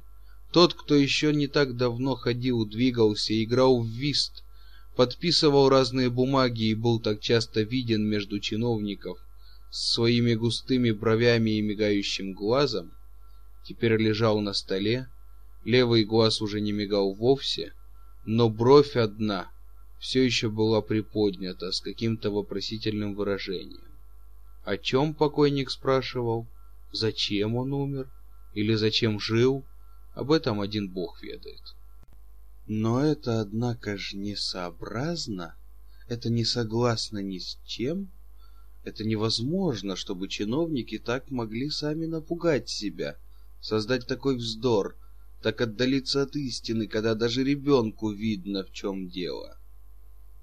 Так скажут многие читатели, и укорят автора в несообразностях или назовут бедных чиновников дураками — потому что щедр человек на слово «дурак» и готов прислужиться им двадцать раз на день своему ближнему. Довольно из десяти сторон иметь одну глупую, чтобы быть признану дураком мимо девяти хороших. Читателям легко судить, глядя из своего покойного угла и верхушки, откуда открыт весь горизонт и все, что делается внизу, где человеку виден только близкий предмет. И во всемирной летописи человечества много есть целых столетий, которые, казалось бы, вычеркнул и уничтожил бы как ненужные. Много совершилось и в мире заблуждений, которых бы, казалось, теперь не сделал и ребенок. Какие искривленные, глухие, узкие, непроходимые, заносящие далеко в сторону дороги избирало человечество — стремясь достигнуть вечной истины, тогда как перед ним весь был открыт прямой путь, подобный пути, ведущему к великолепной храмине, назначенной царю в чертоге. Всех других путей шире и роскошнее он, озаренный солнцем и освещенный всю ночь огнями, но мимо его в глухой темноте текли люди и сколько раз уже наведенные, находившим с небес смыслом, они и тут умели отшатнуться и сбиться в сторону, умели среди бела дня попасть вновь в непроходимые захолустья, умели напустить вновь слепой туман друг другу в очи, и, влачась вслед за болотными огнями, умели таки добраться до пропасти, чтобы потом с ужасом спросить друг друга, где выход, где дорога. Видит теперь все ясно текущее поколение, дивится заблуждением, смеется над неразумением своих предков. Не зря, что небесным огнем исчерчена сия летопись, что кричит в ней каждая буква, что отовсюду устремлен пронзительный перст на него же, на него, на текущее поколение. Но смеется текущее поколение и самонадеянно, гордо начинает ряд новых заблуждений, над которыми также потом посмеются потомки.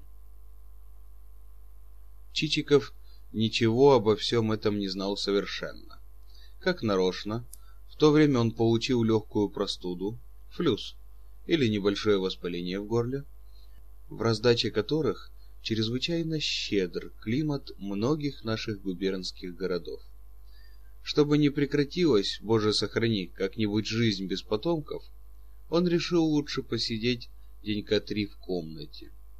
В продолжении сих дней он полоскал беспрестанно горло молоком с фигой, которую потом съедал, и носил привязанную к щеке подушечку из ромашки и камфоры.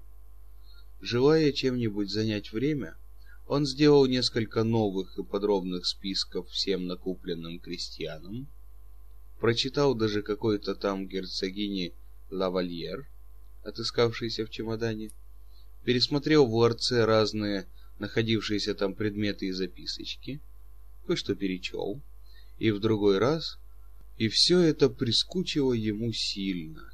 Никак не мог он понять, что бы значило, что ни один из городских чиновников не приехал к нему хотя бы раз, наведаться о здоровье. Тогда как еще недавно то и дело стояли перед гостиницей дрожки, то почтмейстерские, то прокурорские, то председательские. Он пожимал только плечами, ходя по комнате. Наконец почувствовал он себя лучше и обрадовался бог знает как, когда увидел возможность выйти на свежий воздух. Не откладывая, принялся он немедленно за туалет отпер свою шкатулку, налил в стакан горячей воды, вынул щетку и мыло, расположился бриться, чему, впрочем, давно было пора и время, потому что, пощупав бороду рукою и взглянув в зеркало, он уже произнес «Это какие пошли писать леса?» И в самом деле, леса не леса, а по всей щеке и подбородку высыпал довольно густой посев. Выбрившись, принялся он за одевание живо и скоро, так что чуть не выпрыгнул из панталон. Наконец он был одет, вспрыснут деколоном и, закутанный потеплее, выбрался на улицу. Завязавший из предосторожности щеку, выход его, как всякого выздоровевшего человека, был точно праздничный. Все, что не попадалось ему, приняло вид смеющийся, и домы, и проходившие мужики, довольно, впрочем, серьезные, из которых иной уже успел съездить своего брата в ухо. Первый визит он намерен был сделать губернатору. Дорогою много приходило ему всяких мыслей на ум, вертелась в голове блондинка, воображение начало даже слегка шалить, и он уже сам стал немного шутить и посмеиваться над собою таком духе очутился он перед губернаторским подъездом. Уже стал он было в синях поспешно сбрасывать с себя шинель, как швейцар поразил его совершенно неожиданными словами. «Не приказано принимать». «Как? Что ты? Ты, видно, не узнал меня? Ты всмотрись хорошенько в лицо», — говорил ему Чичиков. «Как не узнать? Ведь я вас не впервой вижу», сказал швейцар. Да вас-то именно одних и не велено пускать, других всех можно. Вот тена. Отчего? Почему? Такой приказ. Так уж видно следует, сказал швейцар и прибавил к тому слово «да». после чего стал перед ним совершенно непринужденно, не сохраняя того ласкового вида, с каким прежде торопился снимать с него шинель.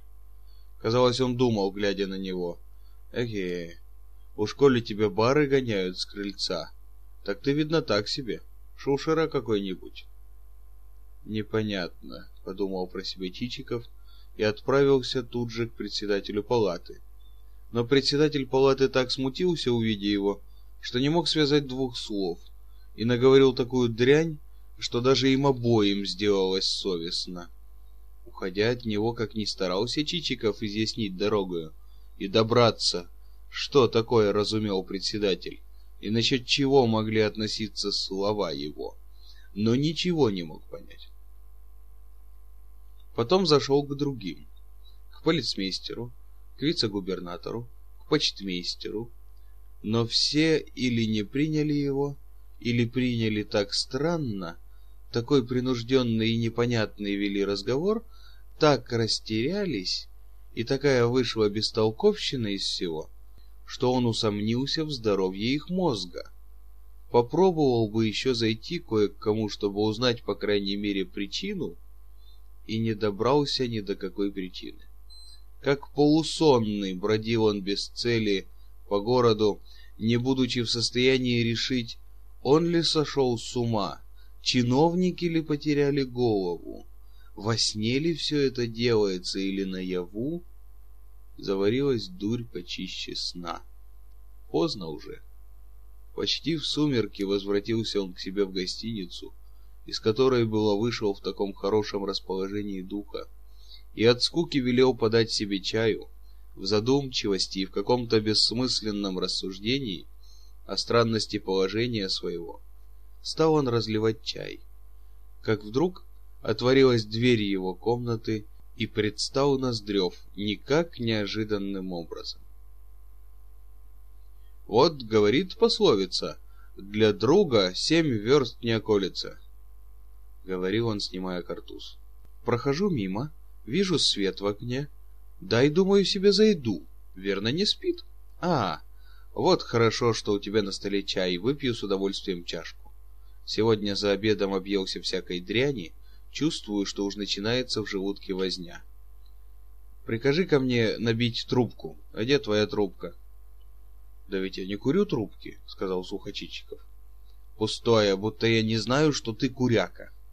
Эй, как бишь зовут твоего человека? Эй, Вахромей, послушай. Да не Вахромей, а Петрушка. Как же? Да у тебя ведь прежде был Вахромей. Никакого не было у меня Вахромея. Да, точно, это у Деребина Вахромей. Вообрази, Деребину какое счастье. Тетка его поссорилась с сыном за то, что женился на крепостной. И теперь записала ему все имение. Я думаю себе, вот если бы эдакую тетку иметь для дальнейших. Да что ты, брат, так отдалился от всех? Нигде не бываешь. Конечно, я знаю, что ты занят иногда учеными предметами. Любишь читать. Уж почему Ноздрев заключил, что герой наш занимается учеными предметами и любит читать? Этого, признаемся, мы никак не можем сказать. А Чичиков и того менее. Ах, брат Чичиков, если бы ты только увидал, вот уж точно была бы пища твоему сатирическому уму. Почему у Чичикова был сатирический ум, это тоже неизвестно. Вообрази, брат, у купца Лихачева играли в горку, так вот уж где смех был. Перепендев, который был со мною, вот говорит, если бы теперь Чичиков, уж вот бы ему точно. Между тем Чичиков отроду не знал никакого Перепендева. А ведь признайся, брат, ведь ты, право, преподло поступил тогда со мною. Помнишь, как играли в шашки? Ведь я выиграл. Да, брат, ты просто поддедюлил меня. Но ведь я, черт меня знает, никак не могу сердиться. На медне с председателем... Ах да, я ведь тебе должен сказать, что в городе все против тебя. Они думают, что ты делаешь фальшивые бумажки. Пристали ко мне, да я за тебя горой. Наговорил им, что с тобой учился и отца знал. Ну и уж нечего говорить, ну и уж нечего говорить, слил им пулю порядочную. Я делаю фальшивые бумажки? воскликнул Чичиков, приподнявшись со стула. Зачем ты, однако, ж так напугал их? продолжал Ноздрев. Они, черт знает, с ума сошли со страху. Нарядили тебя в разбойники и в шпионы, а прокурор с испугу умер, завтра будет погребение. Ты не будешь? Они, сказать правду, боятся нового генерал-губернатора, чтобы из-за тебя чего-нибудь не вышло. А я насчет генерал-губернатора такого мнения, что если он подымет нос и заважничает, то с дворянством решительно ничего не сделает. Дворянство требует радушия, не правда ли? Конечно, можно запрятаться к себе в кабинет и не дать ни одного балла. Да ведь этим что ж? Ведь этим ничего не выиграешь. А ведь ты, однако, Чичиков, рискованное дело затеял. Какое рискованное дело? спросил беспокойно Чичиков. Да увести губернаторскую дочку. Я, признаюсь, ждал этого, ей-богу, ждал. В первый раз, как только увидел вас вместе на бале, ну уж, думаю себе, Чичиков верно недаром. Впрочем, напрасно ты сделал такой выбор. Я ничего в ней не нахожу хорошего. А если она родственница Бекусова, сестры его дочь, так вот уж девушка, можно сказать, Чудо-калинкор. Да что ты? Что ты пугаешь-то? Как увести губернаторскую дочку? Что ты? Говорил Чичиков, выпуча глаза. Ну, полно, брат, экой скрытный человек. Я, признаюсь, к тебе с тем шел. Изволь, я готов тебе помогать. Так и быть. Подержу венец тебе. Коляска и переменные лошади будут мои, только с уговором. Ты должен дать мне три тысячи взаймы. Нужны, брат, хоть зарежь.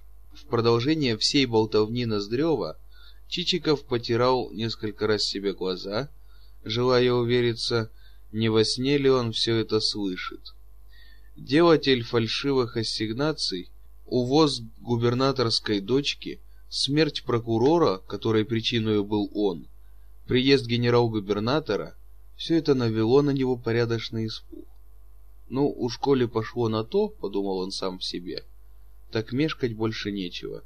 Нужно отсюда убираться скорее. Он постарался сбыть поскорее Ноздрева, призвал к себе тот же час Селифана и велел ему быть готовым на заре, с тем, чтобы завтра же, в шесть часов утра, выехать из города непременно, чтобы все было пересмотрено, бричка подмазана и прочее, и прочее. Селифан произнес «Слушаю, Павел Иванович». И остановился. И остановился, однако ж некоторое время у дверей, не двигаясь с места. Барин тут же велел Петрушке выдвинуть из-под кровати чемодан, покрывшийся уже порядочной пылью, и принялся укладывать вместе с ним, без большого разбора, чулки, рубашки, белье мытое и немытое, сапожные колодки, сапожные колодки, календарь. Все это складывалось как попало. Он хотел непременно быть готовым с вечера, чтобы на завтра не могло случиться никакой задержки. Селифан, постоявший минуты две у дверей, наконец очень медленно вышел из комнаты. Медленно, как только можно вообразить себе медленно, спустился он с лестницы, отпечатывая своими мокрыми сапогами следы по сходившим вниз избитым ступеням и долго почесывал у себя рукой в затылке. Что означало это почесывание? И что вообще оно значит? Досада ли на то, что вот не удалась задуманная на завтра сходка со своим братом в неприглядном тулупе, опоясанном кушаком? Где-нибудь в оцаревом кабаке или уже завязалась в новом месте какая зазнобушка сердешная, и приходится оставлять вечернее стояние у ворот — и политичное держание за белые ручки в тот час, когда нахлобучиваются на город сумерки. Детина в красной рубахе бренчит на балалайке перед дворовой челядью и плетет тихие речи разночинный отработавшийся люд. Или просто жаль отправлять отогретое место уже на людской кухне, под тулупом, близ печи, дощей с городским мягким пирогом с тем, чтобы вновь тащиться под дождь и слякоть и всякую дорожную невзгоду. Бог весть, не угадаешь. Многое разное значит у русского народа почесывание в затылке. Глава одиннадцатая Ничто, однако же, не случилось так, как предполагал Чичиков. Во-первых, проснулся он позже, нежели думал. Это была первая неприятность. Вставши, он послал тот же час узнать, заложена ли бричка и все ли готово. Но донесли, что бричка была еще не заложена и ничего не было готово. Это была вторая неприятность. Он рассердился, приготовился даже задать что-то вроде потасовки приятелю нашему Селифану и ожидал только с нетерпением, какую тот со своей стороны приведет причину в оправдание. Скоро Селифан показался в дверях, и барин имел удовольствие услышать те же самые речи, какие обыкновенно слышатся от прислуги в таком случае, когда нужно скоро ехать. Да ведь, э, Павел Иванович, нужно будет лошадей ковать. Ах ты, чушка, чурбан! А прежде зачем об этом не сказал? Не было разве времени? Да время-то было. Да вот и колесо тоже, Павел Иванович. Шину нужно будет совсем перетянуть, потому что теперь дорога ухабиста, шибень такой везде пошел. Да если позволите доложить, вперед у брички совсем расшатался, так что она, может быть, и двух станций не сделает. «Подлец ты!» — вскрикнул Чичиков, сплеснув руками, и подошел к нему так близко, что Селифан из боязни, чтобы не получить от барина подарка, попятился несколько назад и посторонился. «Убить ты меня собрался, а? Зарезать хочешь? На большой дороге меня собрался зарезать, разбойник? Чушка ты проклятый! Страшилище морское, а?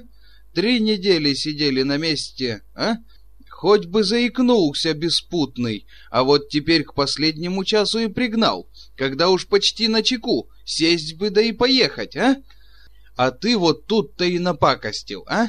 Ведь ты это знал прежде. Ведь ты знал это, а? Отвечай, знал? Знал, отвечал Селифан, приступивший голову. Ну так зачем же тогда не сказал, а? На этот вопрос Селифан ничего не отвечал но потупивший голову, казалось, говорил сам себе. «Ишь ты, как оно мудрено случилось! И знал ведь, да не сказал!» «А вот теперь ступай приведи кузнеца, да чтобы в два часа все было сделано, слышишь? Непременно в два часа. А если не будет, так я тебя, я тебя в рог согну и узлом завяжу!» Герой наш был сильно рассержен. Селифан обратился было к дверям, с тем, чтобы идти выполнить приказание, но остановился и сказал, «Да еще, сударь, Чубарова коня право хоть бы продать, потому что он, Павел Иванович, совсем подлец. Он такой конь, просто не приведи бог, только помеха. Да, вот пойду, побегу прям на рынок продавать. Ей-богу, Павел Иванович, он только что на вид казистый, а на самом деле самый лукавый конь. Такого коня нигде. Дурак! Когда захочу продать, так продам. Еще пустился в рассуждение. Вот посмотрю я. Если ты мне не приведешь сейчас кузнецов, да в два часа не будет все готово, так я тебе такую дам потасовку, сам на себе лица не увидишь. Пошел, ступай. Селифан вышел. Чичиков сделался совершенно не в духе и швырнул на пол саблю, которая ездила с ним по дороге для внушения надлежащего страха, кому следует.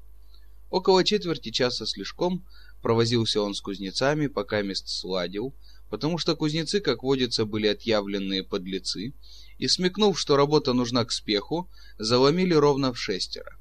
Как он не горячился, называя их мошенниками, разбойниками, грабителями проезжающих, намекнул даже на страшный суд, но Кузнецов ничем не принял. Они совершенно выдержали характер, не только не отступились от цены, но даже повозились за работой вместо двух часов целых пять с половиной. Продолжении этого времени он имел удовольствие испытать приятные минуты, известные всякому путешественнику. Когда в чемодане все уложено, и в комнате валяются только веревочки, бумажки да разный ссор, когда человек не принадлежит ни к дороге, ни к сидению на место видит из окна проходящих плетущихся людей, толкующих об своих гривнах и с каким-то глупым любопытством поднимающих глаза, чтобы, взглянув на него, опять продолжать свою дорогу, что еще более расстравляет нерасположение духа бедного неедущего путешественника. Все, что не есть, все, что не видит он, и ловчонка напротив его окон, и голова старухи, живущей в супротивном доме, подходящей к окну с коротенькими занавесками, все ему гадко. Однако же он не отходит от окна. Стоит, то позабываясь, то обращая вновь какое-то притупленное внимание на все, что перед ним движется и не движется. И душит с досады какую-нибудь муху, которая в это время жужжит и бьется об стекло под его пальцем. Но всему бывает конец. И желанная минута настала. Все было готово. Вперед у брички, как следует, был налажен. Колесо было обтянуто новой шиною. Кони приведены с водопоя, и разбойники-кузнецы отправились, пересчитав полученные целковые и пожелав благополучия. Наконец бричка была заложена, и два горячие калача, только что куплены, вложенные туда, и Селифан уже засунул кое-что для себя в карман, бывший у кучерских козел, и сам герой, наконец, при взмахивании картузом полового, стоявшего в том же демикатонном сюртуке, при трактирных и чужих лакеях и кучерах, собравшихся позевать, как выезжает чужой барин, и при всех других обстоятельствах, сопровождающих выезд, сел в экипаж. И бричка, в которой ездят холостяки, которая так долго застоялась в городе и так, может быть, надоела читателю, наконец выехала из ворот гостиницы. «Слава тебе, Господи!» — подумал Чичиков и перекрестился. Селифан хлыстнул кнутом, к нему подсел сперва повисевший некоторое время на подножке Петрушка, и герой наш, усевшись получше, на грузинском коврике заложил за спину себе кожаную подушку. Притиснул два горячие калача, и экипаж пошел опять подплясывать и покачиваться, благодаря мостовой, которая, как известно, имела подкидывающую силу. С каким-то непредвиденным чувством глядел он на дом и стены, заборы улицы, которые также со своей стороны, как будто подскакивая, медленно уходили назад, и которые, бог знает, судила ли ему участь увидеть еще когда-либо в продолжении своей жизни. При повороте в одну из улиц бричка должна была остановиться, потому что во всю длину ее проходила бесконечная погребальная процессия. Чичиков, высунувшись, велел Петрушке спросить, кого хоронят, и узнал, что хоронят прокурора. Исполненный неприятных ощущений, он тот же час спрятался в угол, закрыл себя кожею и задернул занавески. В это время, когда экипаж был таким образом остановлен, Селифан и Петрушка, набожно снявши шляпу, рассматривали, кто, как, в чем и на чем ехал, считая числом, сколько было всех и пеших, и ехавших, а барин — приказавший им не признаваться и не кланяться никому из знакомых лакеев, тоже принялся рассматривать робко сквозь стеклышко, находившиеся в кожаных занавесках. За гробом шли, снявши шляпы, все чиновники. Он начал было побаиваться, чтобы не узнали его экипажа, но им было не до того. Они даже не занялись разными житейскими разговорами, какие обыкновенно ведут между собой провожающие покойника. Все мысли были сосредоточены в это время в самих себе. Они думали, каков-то будет новый генерал-губернатор, как возьмется за дело и как примет их. За чиновниками, шедшими пешком, следовали кареты, из которых выглядывали дамы в траурных чепцах. По движениям губ и рук видно было, что они были заняты живым разговором. Может быть, они тоже говорили о приезде нового генерал-губернатора и делали предположения насчет балов, какие он даст, и хлопотали о вечных своих фестончиках и нашивочках. Наконец, за каретами следовало несколько пустых дрожек, вытянувшихся гуськом. Наконец, и ничего уже не осталось, и герой наш мог ехать. Открывший кожаные занавески, он вздохнул, произнеся от души «Вот прокурор! Жил-жил, а потом и умер. И вот напечатают в газетах, что скончался к прискорбию подчиненных и всего человечества почтенный гражданин, редкий отец, примерный супруг, и много напишут всякой всячины, прибавят, пожалуй, что был сопровождаем плачем вдов и сирот, а ведь если разобрать хорошенько дело, так на поверку у тебя всего только и было, что густые брови. Тут он приказал Селифану ехать поскорее, и между тем подумал про себя. Это, однако ж, хорошо, что встретились похороны. Говорят, значит счастье, если встретишь покойника. Бричка, между тем, поворотила в более пустынные улицы. Скоро потянулись одни длинные деревянные заборы, предвещавшие конец города. Вот уже и мостовая кончилась, и шлагбаум, и город позади, и ничего нет, и опять в дороге, и опять по обеим сторонам столбового пути пошли вновь писать версты, станционные смотрители, колодцы, обозы, серые деревни с самоварами, бабами и бойким бородатым хозяином, бегущим из постоялого двора с овсом в руке. Пешеход в протертых лаптях, плетущийся за 800 верст, городишки, выстроенные живьем, с деревянными ловчонками, мучными бочками, лаптями, калачами и прочей мелюзгой. Рябые шлагбаумы, чинимые мосты, поля неоглядные по ту сторону и по другую, помещичьи рыдваны, солдат верхом на лошади, везущий зеленый ящик со свинцовым горохом и надписью такой-то артиллерийской батареи, зеленые, желтые, свежеразрытые, черные полосы, мелькающие по степям, затянутая вдали песня, сосновые верхушки в тумане, пропадающий далече колокольный звон, вороны, как мухи, и горизонт без конца. Русь, Русь, вижу тебя, из моего чудного прекрасного далека тебя вижу.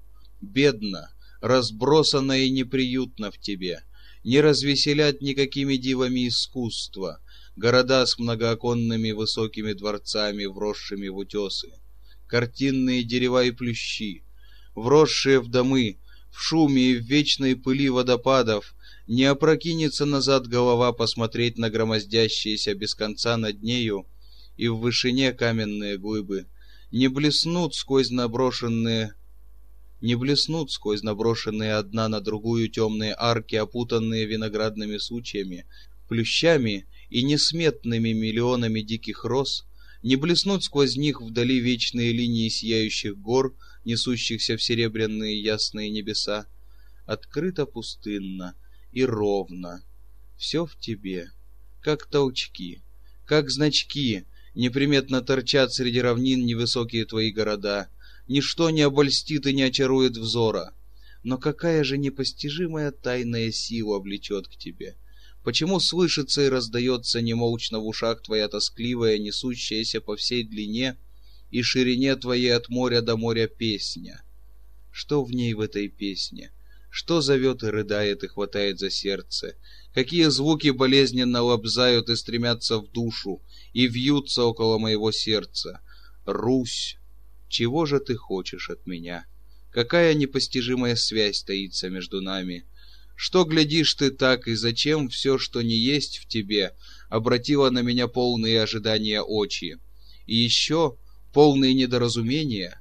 Неподвижно стою я, а уже главу осенило грозное облако, тяжкое грядущими дождями, и онемела мысль перед твоим пространством.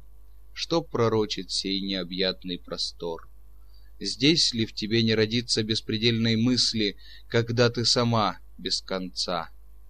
Здесь ли не быть богатырю, когда есть место, где развернуться и пройтись ему? И грозно объемлет меня могучее пространство, страшную силою отразясь во глубине моей. Неестественной властью осветились мои очи. Ух, какая сверкающая, чудная, незнакомая земле даль! Русь! «Держи, держи, дурак!» — кричал Чичиков Селифану. «Вот я тебя палашом!» — кричал скакавший навстречу фельдъегерь с усами воршин. «Не видишь, леший, дери твою душу, казенный экипаж!» И как призрак исчезнула с громом и пылью тройка. Какое странное и манящее, и несущее, и чудесное в слове «дорога». И как чудна она сама, эта дорога, ясный день, осенние листья, холодный воздух, покрепче в дорожную шинель, шапку на уши, теснее и ютней прижмемся к углу. В последний раз пробежавшая дрожь прохватила члены и уже сменила ее приятная теплота.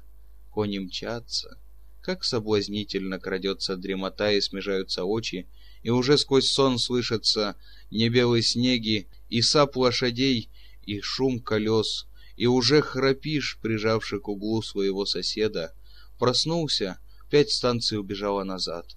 Луна, неведомый город, церкви с старинными деревянными куполами и чернеющими остроконечьями, темные бревенчатые и белые каменные дома, сияние месяца там и там, будто белые полотняные платки развешались по стенам, по мостовой, по улицам, косяками пересекают их черные, как уголь, тени, подобно сверкающему металлу блистают в кось озаренные деревянные крыши, и нигде ни души. Все спит. Один-одинешенек. Разве где-нибудь в окошке брежет огонек? Мещанин ли городской точает свою пару сапогов? Пекарь ли возится в печурке? Что до них?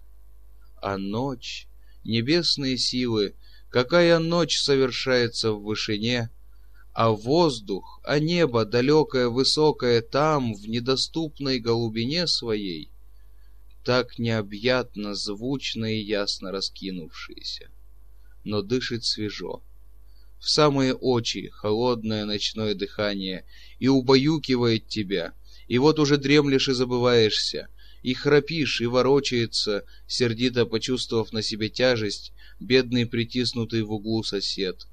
Проснулся и уже опять перед тобою поля и степи, нигде ничего, везде пустырь, все открыто, верста с цифрой летит тебе в очи. Занимается утро на побелевшем холодном небосклоне, золотая бледная полоска. Свежее и жестче становится ветер, покрепче в теплую шинель. Какой славный холод, какой чудный, вновь обнимающий тебя сон. Толчок и опять проснулся. На вершине неба солнце. «Полегче, полегче!» — слышится голос. Телега спускается с кручи. Внизу плотина широкая и широкий ясный пруд, сияющий, как медное дно перед солнцем. Деревня, избы рассыпались на косогоре. Как звезда блестит в стороне крест сельской церкви, болтовни мужиков и невыносимый аппетит в желудке. Боже, как ты хороша подчас далекая-далекая дорога. Сколько раз, как погибающий и тонущий, я хватался за тебя, и ты всякий раз меня великодушно выносила и спасала. А сколько родилось в тебе чудных замыслов, поэтических грез, сколько перечувствовалось дивных впечатлений. Но и друг наш Чичиков почувствовал в это время не вовсе прозаические грезы, а посмотрим, что он почувствовал. Сначала он не чувствовал ничего и поглядывал только назад, желая увериться, точно ли выехал из города. Но когда увидел, что город уже давно скрылся, ни кузни, ни мельниц, ни всего того, что находится вокруг городов, не было видно, и даже белые верхушки каменных церквей давно ушли в землю, он занялся только одной дорогой. Посматривал то направо и налево, и город Н как будто не бывал в его памяти. Как будто проезжал он его давно, в детстве. Наконец и дорога перестала занимать его, и он стал слегка закрывать глаза и склонять голову к подушке. Автор признается этому даже рад, находя таким образом случай поговорить о своем герое ибо доселе, как читатель видел, ему беспрестанно мешали то Ноздрев, то балы, то дамы, то городские сплетни, то, наконец, тысячи тех мелочей, которые кажутся только тогда мелочами, когда внесены в книгу, а пока мест обращаются в свете, почитаются за весьма важные дела. Но теперь отложим совершенно все в сторону и прямо займемся делом. Очень сомнительно, чтобы избранный нами герой понравился читателям. Дамам он не нравится. Это можно сказать утвердительно, ибо дамы требуют, чтобы герой был решительное совершенство, и если какое-нибудь душевное или телесное пятнышко, тогда беда. Как глубоко не загляни автор ему в душу, хоть отрази чище зеркало его образ, ему не дадут никакой цены. Самая полнота и средние лета Чичикова много повредят ему. Полноты ни в коем случае не простят герою, и весьма многие дамы, отворотившись, скажут «фиг какой гадкий». Увы, все это известно автору. И при всем том, он не может взять в герои добродетельного человека. Но, может быть, в сей же самой повести почуются иные, еще доселе небранные струны. предстанет несметное богатство русского духа. Пройдет мужик, одаренный божескими доблестями, или чудная русская девица, какой не сыскать нигде в мире. Со всей дивной красотой женской души, вся из великодушного стремления и самоотвержения, и мертвыми кажутся перед ними все добродетельные люди других племен, как мертва книга перед живым словом. Подымутся русские движения и увидят, как глубоко заронилось в славянскую природу то, что скользнуло только по природе других народов. Но к чему я? Зачем говорить о том, что впереди? Неприлично автору, будучи давно уже мужем, воспитанному суровой внутренней жизнью и свежительной трезвостью уединения, забываться подобно юноше. Всему свой черед и место и время. А добродетельный человек все-таки не взят в герои. И можно даже сказать, почему не взят. Потому что пора наконец дать отдых бедному добродетельному человеку, потому что праздно вращается на устах слово «добродетельный человек», потому что обратили в лошадь добродетельного человека, и нет писателя, который бы не ездил на нем, понукая и кнутом, и всем, чем не попало, потому что изморили добродетельного человека до того, что теперь нет на нем и тени добродетели, а остались только ребра, да кожа вместо тела, потому что лицемерно призывают добродетельного человека – потому что не уважают добродетельного человека. Нет, пора, наконец, припрячь и подлеца. Итак, припряжем подлеца. Темно и скромно происхождение нашего героя. Родители были дворяне, но столбовые или личные, бог ведает. Лицом он на них не походил. По крайней мере, родственница, бывшая при его рождении, низенькая коротенькая женщина, которых обыкновенно называют пигалицами, взявший в руки ребенка, совсем вышел не такой, как я думала. Ему бы следовало пойти в бабку с матерной стороны, что было бы и лучше, а он родился просто, как говорит пословица, не в мать, не в отца, а в проезжего молодца. Жизнь при начале взглянула на него как-то кисло-неприютно, сквозь какое-то мутное, занесенное снегом окошко. Ни друга, ни товарища в детстве. Маленькая горенка с маленькими окнами, не отворявшимися ни в зиму, ни в лето, отец, больной человек, в длинном сюртуке на мерлушах и в вязаных хлопанцах, надетых на босую ногу. Беспрестанно вздыхавший, ходя по комнате, и плевавший в стоявшую в углу песочницу. Вечное сидение на лавке с пером в руках чернилами на пальцах и даже на губах, вечная пропись перед глазами, не лги, послушествуй старшим и носи добродетель в сердце. Вечный шарк и шлепание по комнате хлопанцев, знакомый, но всегда суровый голос «Опять задурил!» отзывавшийся в то время, когда ребенок, наскуча однообразием труда, приделывал к букве какую-нибудь ковыку или хвост и вечно знакомое всегда неприятное чувство, когда вслед за сими словами краюшка уха его скручивалась очень больно ногтями длинных, протянувшихся сзади пальцев. Вот бедная картина первоначального его детства, о котором едва сохранил он бледную память. Но в жизни все меняется быстро и живо, и в один день с первым весенним солнцем и развалившимися потоками отец, взявший сына, выехал с ним на тележке, которую потащила махортая пегая лошадка, известная у лошадиных барышников под именем Сороки. Ею правил кучер, маленький горбунок, родоначальник единственной крепостной семьи, принадлежавшей отцу Чичикова, занимавший почти все должности в доме. На Сороке тащились они полтора дня слишком. На дороге ночевали, переправлялись через реку, закусывали холодным пирогом и жареную бараниною, и только на третий день утром добрались до города. Перед мальчиком блеснули неожиданным великолепием городские улицы, заставшие его на несколько минут разинуть рот. Заставившие его на несколько минут разинуть рот. Потом сорока бултыхнула вместе с тележкой в яму, в которую начинался узкий переулок, весь стремившийся вниз и запруженный грязью. Долго работала она там всеми силами и месила ногами, подстрекаемая и горбуном, и самим барином, и, наконец, втащила их в небольшой дворик, стоявший на косогоре с двумя расцветшими яблонями перед стареньким домиком и садиком позади его. Низеньким, маленьким, состоявшим только из рябины и бузины, и скрывавшейся в глубине ее деревянной будочки, крытой драньем, с узеньким матовым окошечком. Тут жила родственница их, дряблая старушонка, все еще ходившая всякое утро на рынок и сушившая потом чулки свои у самовара, которая потрепала мальчика по щеке и полюбовалась его полнотою. Тут должен был и остаться и ходить ежедневно в классы городского училища. Отец, переночевавший, на другой же день выбрался в дорогу. При расставании слез не было пролито из родительских глаз, дана была полтина меди на расход и лакомство, и, что гораздо важнее, умное наставление.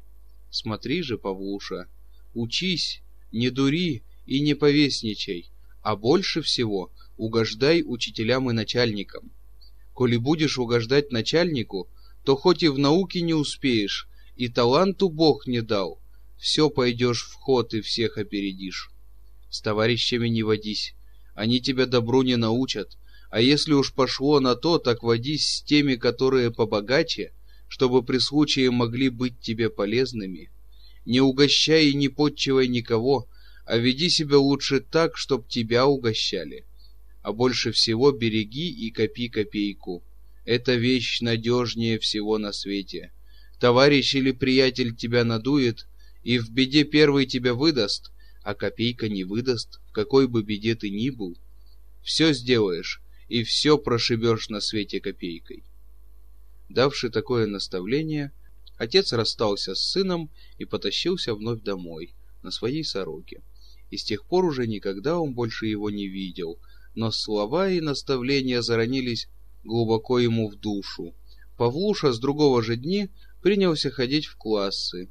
Особых способностей к какой-нибудь науке в нем не оказалось. Отличился он больше прилежанием и опрятностью. Но зато оказался в нем большой ум с другой стороны, со стороны практической. Он вдруг смекнул и понял дело, и повел себя в отношении к товарищам точно таким образом, что они его угощали. А он их не только никогда, но даже иногда, припрятав получимое угощение, потом продавал им же. Еще ребенком он умел уже отказать себе во всем. Из данной отцом полтины не издержал ни копейки. Напротив, в тот же год уже сделал к ней приращение, показав оборотливость почти необыкновенную. Слепил из воску снегиря, выкрасил его и продал очень выгодно. Потом, в продолжении некоторого времени, пустился на другие спекуляции, именно вот какие. Накупивший на рынке съестного, садился в классе возле тех, которые были побогаче, и как только замечал, что товарища начинало тошнить, признак подступающего голода, он высовывал ему из-под скамьи, будто невзначай угол пряника или булки, и, раззадоривший его, брал деньги, соображаясь с аппетитом. Два месяца он провозился у себя на квартире без отдыха около мыши, которую засадил в маленькую деревянную клеточку, и добился наконец до того, что мышь становилась на задние лапки, ложилась и вставала по приказу, и продал ее потом очень выгодно. Когда набралось денег до пяти рублей, он мешочек зашил и стал копить в другой. В отношении к начальству он повел себя еще умнее. Сидеть на лавке никто не умел так смирно. Надобно заметить, что учитель был большой любитель тишины и хорошего поведения, и терпеть не мог умных и острых мальчиков. Ему казалось, что они непременно должны над ним смеяться. Достаточно было тому, который попал на замечание со стороны остроумия, достаточно было ему только пошевелиться или как-нибудь ненарогом мигнуть бровью, чтобы подпасть вдруг под гнев. Он его гнал и наказывал немилосердно. «Я, брат, из тебя выгоню заносчивость и непокорность», — говорил он. «Я тебя знаю насквозь, как ты сам себя не знаешь. Вот ты у меня постоишь на коленях, ты у меня поголодаешь». И бедный мальчишка, сам не зная за что, натирал себе колени и голодал по суткам. Способности и дарования, «Это все вздор», — говорил он. «Я смотрю только на поведение. Я поставлю полные баллы во всех науках тому, кто ни аза не знает, доведет себя похвально.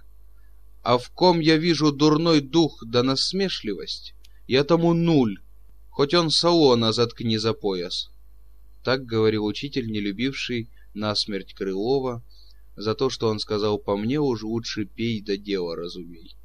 И всегда рассказывавший с наслаждением в лице и в глазах, как в том училище, где он преподавал прежде, такая была тишина, что слышно было, как муха летит, что ни один из учеников в течение круглого года не кашлянул и не высморкался в классе, и что до самого звонка нельзя было узнать, был ли кто там или нет. Чичиков вдруг постигнул дух начальника и в чем должно состоять поведение. Не шевельнул он ни глазом, ни бровью во все время класса, как ни щипали его сзади. Как только раздавался звонок, он бросался опрометью и подавал учителю прежде всего триух. Учитель ходил в триухе. Подавший триух, он выходил первый из класса и старался ему попасться раза три на дороге, беспрестанно снимая шапку. Дело имело совершенный успех. Во все время пребывания в училище он был на отличном счету и при выпуске получил полное удостоение во всех науках, аттестат и книгу с золотыми буквами за примерное прилежание и благонадежное поведение. Вышед из училища, он очутился уже юношей, довольно заманчивой наружности, с подбородком, потребовавшим бритвы. В это время умер отец его. В наследстве оказались четыре заношенные безвозвратно фуфайки, два старых сюртука, подбитых мелушками, и незначительная сумма денег. Отец, как видно, был сведущ только в совете копить копейку, а сам накопил ее немного. Чичиков продал тут же ветхий дворишко с ничтожной землицей за тысячу рублей, а семью людей перевел в город, располагаясь основаться в нем и заняться службой. В это же время был выгнан из училища и глупость, и другую вину бедный учитель, любитель тишины и похвального поведения. Учитель с горя принялся пить. Наконец и пить уже было ему не на что. Больной, без куска хлеба и помощи, пропадал он где-то в нетопленной зыбкой конурке. Бывшие ученики его, умники и остряки, в которых ему мерещилась беспрестанно непокорность и заносчивое поведение, узнавшие об жалком его положении, собрали тут же для него деньги, продав даже многое нужное. Один только Павлуша Чичиков отговорился неимением и дал какой-то пятак серебра, который тут же товарищи ему бросили, сказавши «Эх ты жила!». Закрыв лицо руками, бедный учитель, когда услышал о таком поступке бывших учеников своих, слезы градом полились из погасавших очей, как у бессильного дитяти. При смерти на одре привел Бог заплакать, произнес он слабым голосом и тяжело вздохнул. Услышав о Чичикове, прибавя тут же, «Эх, Павлуша, вот как переменяется человек, ведь какой был благонравный, ничего буйного, шелк, надул, сильно надул». Нельзя, однако же, сказать, чтобы природа героя нашего была так сурова и черства, и чувства его были до того притуплены, чтобы он не знал ни жалости, ни сострадания. Он чувствовал и то, и другое. Он бы даже хотел помочь, но только чтобы не заключалось это в значительной сумме, чтобы не трогать уже тех денег, которых было положено не трогать. Словом, отцовское наставление «береги и копи копейку» пошло впрок. Но в нем не было привязанности, собственно, к деньгам для денег, им не владели скряжничество и скупость. Нет, не они двигали им.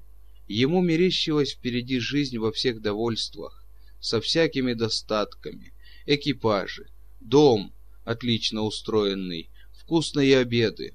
Вот что беспрерывно носилось в голове его. Чтобы, наконец, потом со временем вкусить непременно все это. Вот для чего береглась копейка, скупо отказываемая до времени и себе, и другому когда проносился мимо его богач на полетных красивых дрожках, на рысаках в богатой упряжи. Он как вкопанный останавливался на месте и потом, очнувшись, как после долгого сна, говорил А ведь был конторщик, волосы носил в кружок. И все, что не отзывалось богатством и довольством, производило на него впечатление, непостижимое им самим. Вышед из училища, он не хотел даже отдохнуть. Так сильно было у него желание скорее приняться за дело и службу. Однако же, несмотря на похвальные аттестаты, с большим трудом определился он в казенную палату, и в дальних захолустьях нужна протекция. Местечко досталось ему ничтожное. Жалование 30 или 40 рублей в год, но решился он жарко заняться службою. Все победить и преодолеть. И точно, самоотвержение, терпение и ограничение нужд показал он неслыханное. С раннего утра до позднего вечера, не уставая ни душевными, ни телесными силами, писал он, погрязнув весь в канцелярские бумаги. Не ходил домой, спал в канцелярских комнатах на столах, обедал подчас со сторожами и при всем том умел сохранить опрятность, порядочно одеться, сообщить лицу приятное выражение, даже что-то благородное в движениях. Надобно сказать, что палатские чиновники особенно отличались невзрачностью и неблагообразием. У иных были лица, точно дурно выпеченный хлеб, щеку раздуло в одну сторону, подбородок покосило в другую, верхнюю губу взнесло пузырем, которая в прибавку к тому еще и треснула, словом, ну совсем некрасиво. Говорили они все как-то сурово, таким голосом, как бы собирались кого прибить, приносили частые жертвы вакху, показав таким образом, что в славянской природе есть еще много остатков язычества. Приходили даже подчас в присутствие, как говорится, нализавшись, отчего в присутствии было нехорошо, и воздух был вовсе не ароматический.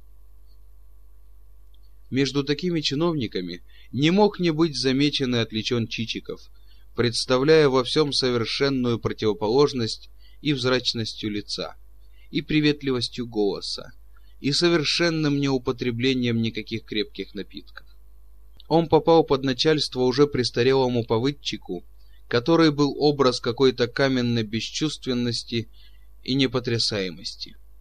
Вечно тот же, неприступный, никогда в жизни не давший на лице своем усмешки, не приветствовавший ни разу никого даже запросом о здоровье, Никто не видел, чтобы он хоть раз был не тем, чем всегда. Хоть на улице, хоть у себя дома, хоть бы раз показал он в ком-нибудь участие. Хоть бы напился пьян, да и в пьянстве рассмеялся бы. Хоть бы даже предался дикому веселью, какому предается разбойник в пьяную минуту. Но даже тени не было в нем ничего такого. Ничего и не было в нем ровно. Ни злодейского, ни доброго, и что-то страшное являлось в всем отсутствии всего. Черство мраморное лицо его, черство мраморное лицо его, без всякой резкой неправильности, не намекало ни на какое сходство. В суровой соразмерности между собой были черты лица его. Одни только частые рябины и ухабины, истыкавшие их, причисляли его к лицу тех людей, на которых, по народному выражению, черт приходил по ночам молотить горох. Казалось, не было сил человеческих подбиться к такому человеку и привлечь его расположение, но Чичиков попробовал. Сначала он принялся угождать во всяких незаметных мелочах. Рассмотрел внимательно чинку перьев, какими писал он, и, приготовивши несколько по образцу их, клал ему всякий раз их под руку. Сдувал и сметал со стола его песок и табак завел новую тряпку для его чернильницы. Отыскал где-то его шапку, прескверную шапку, какая когда-либо существовала в мире, и всякий раз клал ее возле него за минуту до окончания присутствия. Чистил ему спину, если тот запачкал ее мелом у стены. Но все это осталось решительно без всякого замечания. Так, как будто ничего этого не было и делано. Наконец он пронюхал его домашнюю, семейную жизнь, узнал, что у него была зрелая дочь с лицом тоже похожим на то, как будто на нем происходила по ночам молодьба гороху. С этой стороны придумал он навести приступ. Узнал, в какую церковь приходила она. По воскресным дням становился всякий раз на супротив ее, чисто одетый, накрахмаливший сильно манишку. И дело возымело успех. пошатнулся суровый повыдчик и зазвал его на чай. И в канцелярии не успели оглянуться, как устроилось дело так, что Чичиков переехал к нему в дом, сделался нужным и необходимым человеком, закупал и муку и сахар, с дочерью обращался как с невестой, повыдчика звал папенькой и целовал его в руку. Все положили в палате, что в конце февраля перед Великим постом будет свадьба. Суровый повыдчик стал даже хлопотать за него у начальства, и через несколько времени Чичиков сам сел повыдчиком на одно открывшееся вакантное место. В этом, казалось, и заключалась главная цель связи его со старым повыдчиком, потому что тут же сундук свой он отправил секретно домой и на другой день очутился уже на другой квартире. Повыдчика перестал звать папенькой и не целовал больше его руки, а о свадьбе так дело и замялось, как будто вовсе ничего не происходило. Однако же, встречаясь с ним, он всякий раз ласково жал ему руку и приглашал его на чай. Так что старый повыдчик, несмотря на вечную неподвижность и черствое равнодушие, всякий раз встряхивал головою и произносил себе под нос «Надул! Надул, чертов сын!» Это был самый трудный порог, через который перешагнул он. С этих пор пошло легче и успешнее. Он стал человеком заметным. Все оказалось в нем, что нужно для этого мира. И приятность в оборотах и поступках, и бойкость в деловых делах. С такими средствами добыл он в непродолжительное время то, что называют хлебное местечко, и воспользовался им отличным образом. Нужно знать, что в то же самое время начались строжайшие преследования всяких взяток. Преследований он не испугался и обратил их тот же час в свою пользу, показав таким образом прямо русскую изобретательность, являющуюся только во время прижимок. Дело устроено было вот как. Как только приходил проситель и засовывал руку в карман с тем, чтобы вытащить оттуда известные рекомендательные письма, за подписью князя Хованского, как выражаются у нас на Руси, «Нет-нет», — говорил он с улыбкой, удерживая его руки. «Вы думаете, что я...» «Нет-нет, это наш долг, наша обязанность. Без всяких возмездий мы должны делать это. С этой стороны уж будьте покойны. Завтра же все будет сделано. Позвольте узнать вашу квартиру. Вам и заботиться не нужно самим. Все будет принесено к вам на дом». Очарованный проситель возвращался домой чуть не в восторге, думая, «Вот, наконец, человек, каких нужно побольше». Это просто драгоценный алмаз. Но ждет проситель день, другой, не приносят дело на дом, на третий тоже. Он в канцелярию, а дело и не начиналось. Он к драгоценному алмазу. Ах, извините, говорит Чичика, очень учтиво, схвативший его за обе руки. У нас было столько дел, но завтра же все будет сделано. Завтра непременно. Право, мне даже совестно. И все это сопровождалось движениями обворожительными. Если при этом распахивалась какая-нибудь пола халата, то рука в ту же минуту старалась дело поправить и придержать полу. Но ни завтра, ни послезавтра, ни на третий день не несут дело на дом. Проситель берется за ум. Да полно, нет ли чего? Выведывает. Говорят, нужно дать писарям. Почему же не дать? Я готов, четвертак, другой. Нет, не четвертак, а по беленькой. По беленькой писарям? вскрикивает проситель. «Да чего вы так горячитесь?» — отвечают ему. «Оно так и выйдет.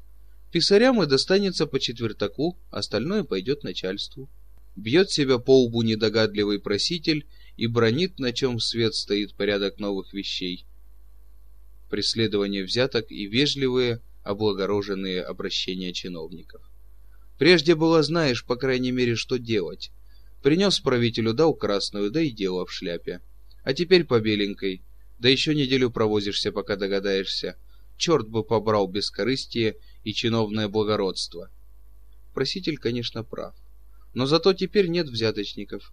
Все правители дел чистейшие и благороднейшие люди. Секретари только до писаря, мошенники. Скоро представилось Чичикову, скоро представилось Чичикову поле гораздо пространнее. Образовалась комиссия, для построения какого-то казенного весьма капитального строения.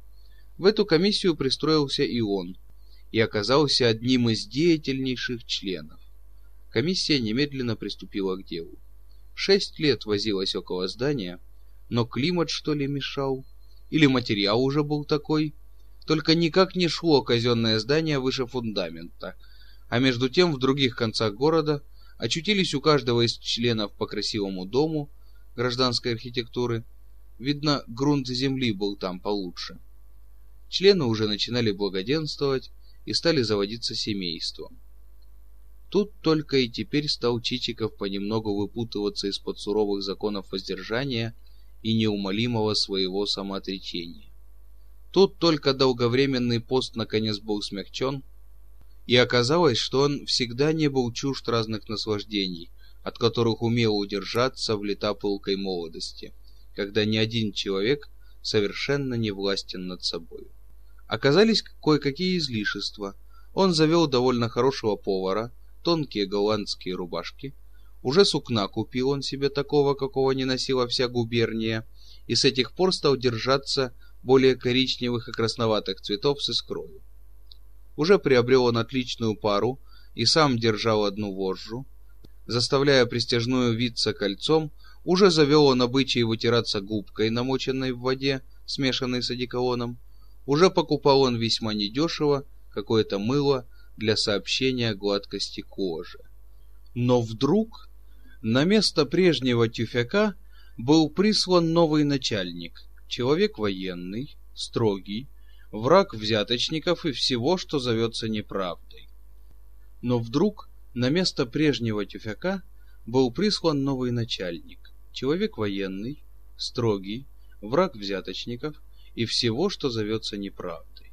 На другой же день Пугнул он всех до одного, потребовал отчеты, увидел недочеты, на каждом шагу недостающие суммы, заметил в ту же минуту дома красивой гражданской архитектуры, и пошла переборка. Чиновники были отставлены от должности, дома гражданской архитектуры поступили в казну и обращены были на разные богоугодные заведения и школы для кантонистов все распущено было в пух, и Чичиков более других. Лицо его вдруг, несмотря на приятность, не понравилось начальнику. Почему именно, Бог ведает. Иногда даже просто не бывает... Иногда даже просто не бывает на это причин. И он возненавидел его насмерть. И грозен был сильно для всех неумолимый начальник. Но так как все же он был человек военный, стало быть, не знал всех тонкостей гражданских проделок, то через несколько времени, посредством правдивой наружности и умения подделаться ко всему, втерлись к нему в милость другие чиновники, и генерал скоро очутился в руках еще больших мошенников, которых он вовсе не почитал такими. Даже был доволен, что выбрал, наконец, людей как следует, и хвастался не в шутку тонким умением различать способности. Чиновники вдруг постигнули дух его и характер. Все, что ни были под начальством его, сделались страшными гонителями неправды. Везде, во всех делах они преследовали ее, как рыбак острогой преследует какую-нибудь мясистую белугу. И преследовали ее с таким успехом, что в скором времени у каждого случилось по нескольку тысяч капиталу. В это время обратились на путь истины многие из прежних чиновников и были вновь приняты на службу. Но Чичиков уже никаким образом не мог втереться. Как ни старался и не стоял за него подстрекнутый письмами князя Хованского первый генеральский секретарь, постигнувший совершенно управление генеральским носом. Но тут он ничего решительно не мог сделать. Генерал был такого рода человек, которого хотя и водили за нос, впрочем, без его ведома, но зато уже если в голову ему западала какая-то мысль, то она там была все равно, что железный гвоздь. Ничем нельзя было ее оттуда вытеребить. Все, что мог сделать умный секретарь, было уничтожение запачканного послужного списка. И на то уже он подвинул начальника не иначе, как состраданием — изобразив ему в живых красках трогательную судьбу несчастного семейства Чичикова, которого, к счастью, у него не было. «Ну что ж», — сказал Чичиков, — «зацепил, поволок, сорвалось, не спрашивай. Плачем горю не пособить, нужно дело делать». И вот решил он сызново начать карьер. вновь вооружился терпением, вновь ограничился во всем, как непривольно и нехорошо было развернулся прежде. Нужно было переехать в другой город. Там еще приводить себя в известность. Все как-то не клеилось. Две-три должности должен был он переменить в самое короткое время. Должности как-то были грязны, низменны. Нужно знать, что Чичиков был самый благопристойный человек, какой когда-либо существовал в свете. Хотя он и должен был вначале протираться в грязном обществе, но в душе всегда сохранял чистоту. Любил, чтобы в канцеляриях были столы из лакированного дерева, и все бы было благородно. Никогда не позволял он себе в речи неблагопристойного слова и оскорблялся всегда, если в словах других видел отсутствие должного уважения к чину или званию. Читателю, я думаю, приятно будет узнать, что он всякие два дня переменял на себе белье, а летом, во время жаров, даже и всякий день. Всякий сколько-нибудь неприятный запах уже оскорблял его. По этой причине он всякий раз, когда Петрушка приходил раздевать его и скидывать сапоги, клал себе в нос гвоздичку. И во многих случаях нервы у него были щекотливые, как у девушки. И потому тяжело ему было очутиться вновь в тех рядах, где все отзывалось ценником и неприличием в поступках. Как ни крепился он духом, однако ж похудел и даже позеленел во время таких невзгод.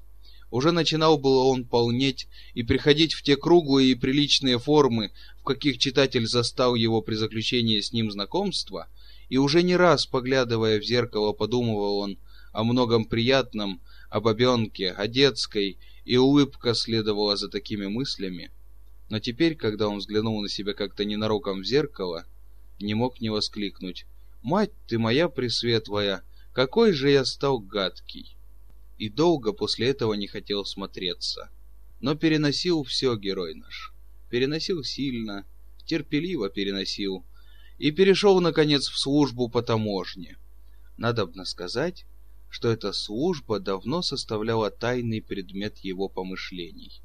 Он видел, какими щегольскими заграничными вещицами заводились таможенные чиновники, какие фарфоры и батисты пересылали кумушкам, тетушкам и сестрам, не раз давно уже он говорил со вздохом, вот бы куда перебраться, и граница близко, и просвещенные люди, а какими тонкими голландскими рубашками, а какими тонкими голландскими рубашками можно обзавестись. Надобно прибавить, что при этом он подумывал еще об одном особенном сорте французского мыла, сообщавшего необыкновенную белизну кожи и свежесть щекам. Как оно называлось, бог ведает, но по его предположениям непременно находилось на границе. И так он давно бы хотел в таможню, но удерживали текущие разные выгоды по строительной комиссии, и он рассуждал справедливо, что таможня, как бы то ни было, все еще не более как журавль в небе, а комиссия уже была синица в руках. Теперь же решился он во что бы то ни стало добраться до таможни и добрался. За службу свою принялся он с ревностью необыкновенную.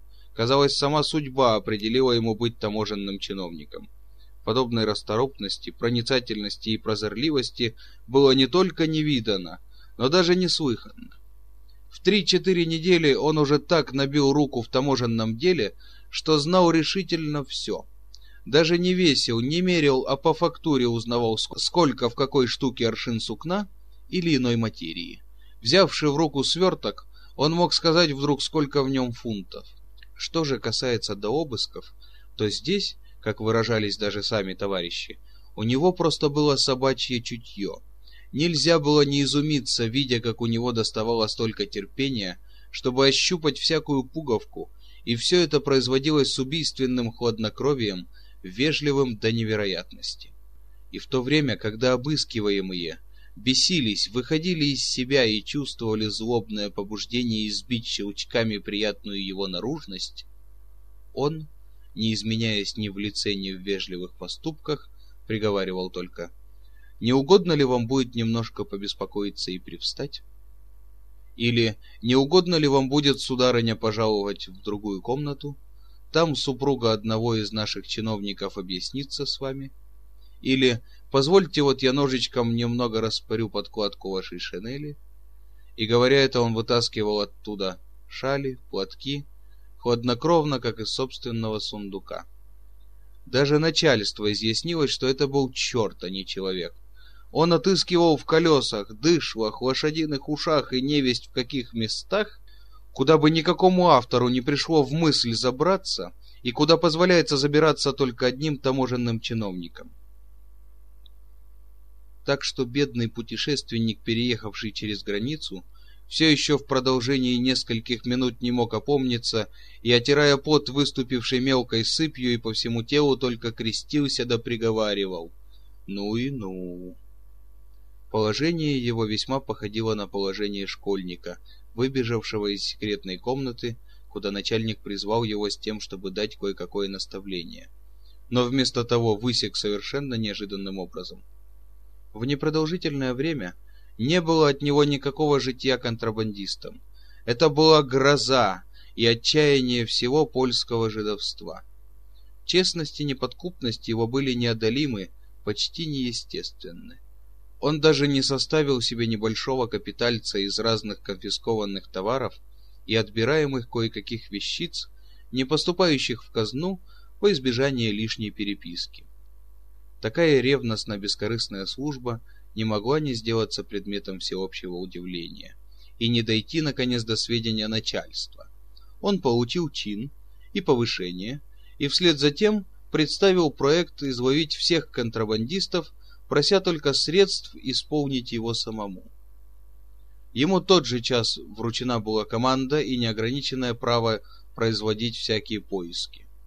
Этого только ему и хотелось.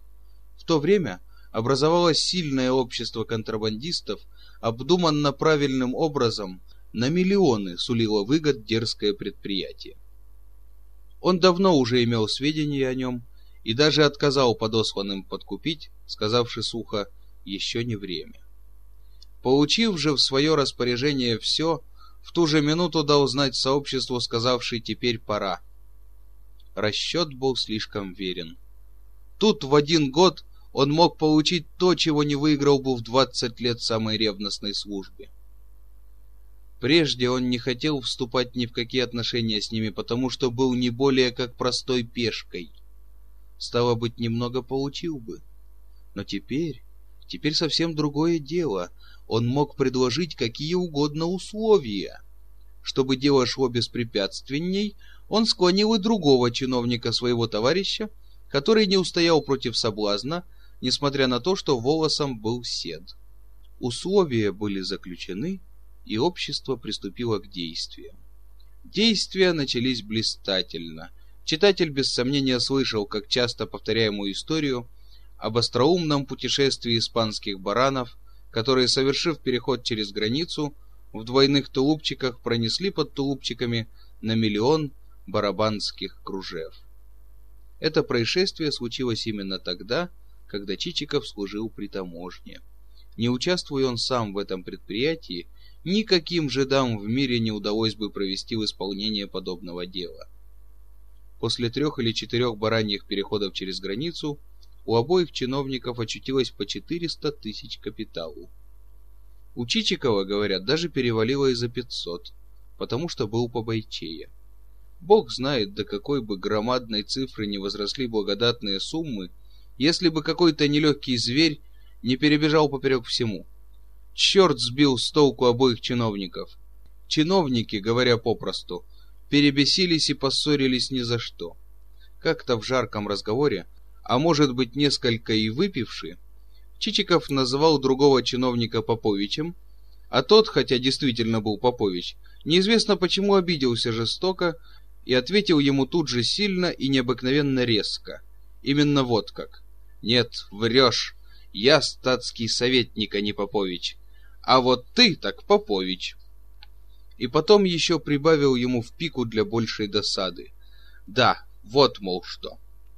Хотя он отбрил таким образом его кругом, обратив на него им же приданное название, и хотя выражение «вот, мол, что» могло быть сильно, но недовольный Симон послал еще на него тайный донос.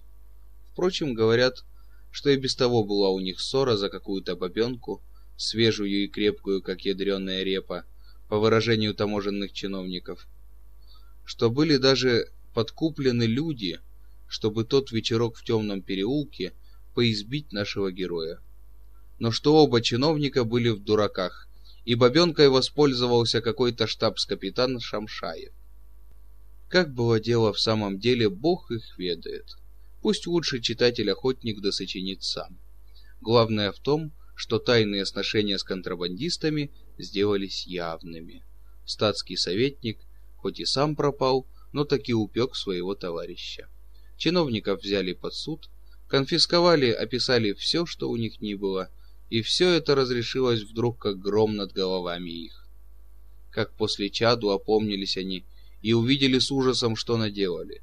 Статский советник по русскому обычаю с горя запил, но коллежский устоял.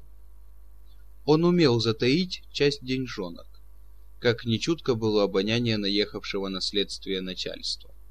Употребил все тонкие извороты ума, уже слишком опытного, слишком знающего хорошо людей, где подействовал приятностью оборотов, где трогательную речью, где покурил лестью, ни в каком случае не портящую дело, где всунул деньжонку, словом обработал дело по крайней мере так, что отставлен был не с таким бесчестием, как товарищ, и увернулся из-под уголовного суда. Но уже ни капитала, ни разных заграничных вещиц, ничего не осталось ему. На все это нашлись другие охотники. Удержалось у него тысячонок десять, запрятанных про черный день, да дюжины две голландских рубашек, да небольшая бричка, в каких ездят холостяки, да два крепостных человека, кучер Селифан и лакей Петрушка — да таможенные чиновники, движимые сердечной добротою, оставили ему пять или шесть кусков мыла для сбережения свежести щек. Вот и все. Так вот в каком положении вновь очутился герой наш. Вот какая громада бедствия обрушилась ему на голову. Именно это называл он потерпеть по службе за правду.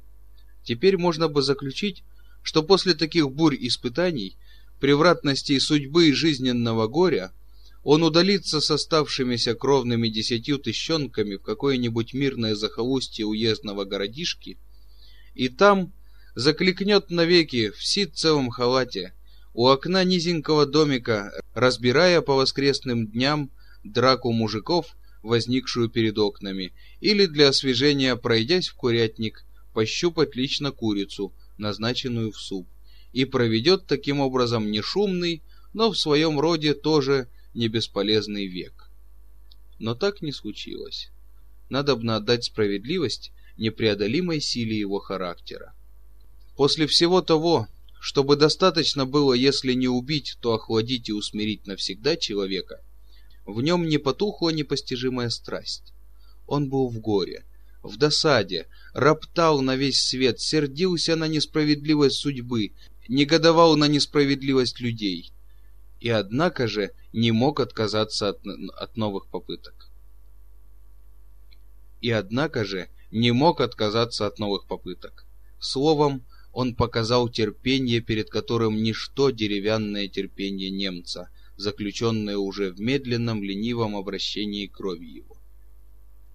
Кровь Чичикова, напротив, играла сильно, и нужно было много разумной воли, чтобы набросить узду на все то, что хотело бы выпрыгнуть и погулять на воле. Он рассуждал, и в рассуждении его видна была некоторая сторона справедливости. Почему ж я? Зачем на меня обрушилась беда? Кто ж зевает теперь на должности? Все приобретают.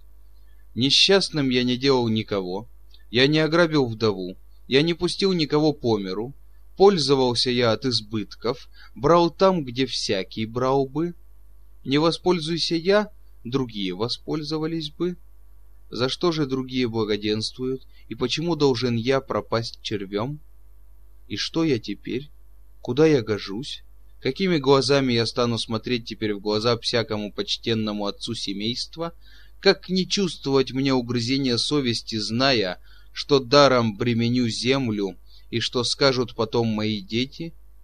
Вот скажут, отец, скотина, не оставил нам никакого состояния.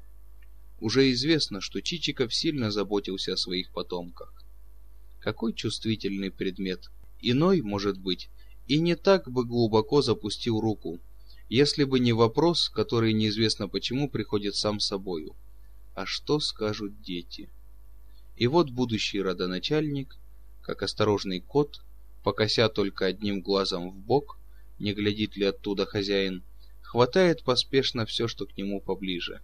Мыло ли стоит, свечи ли, сало, канарейка ли попалась под лапу. Словом, не пропускает ничего.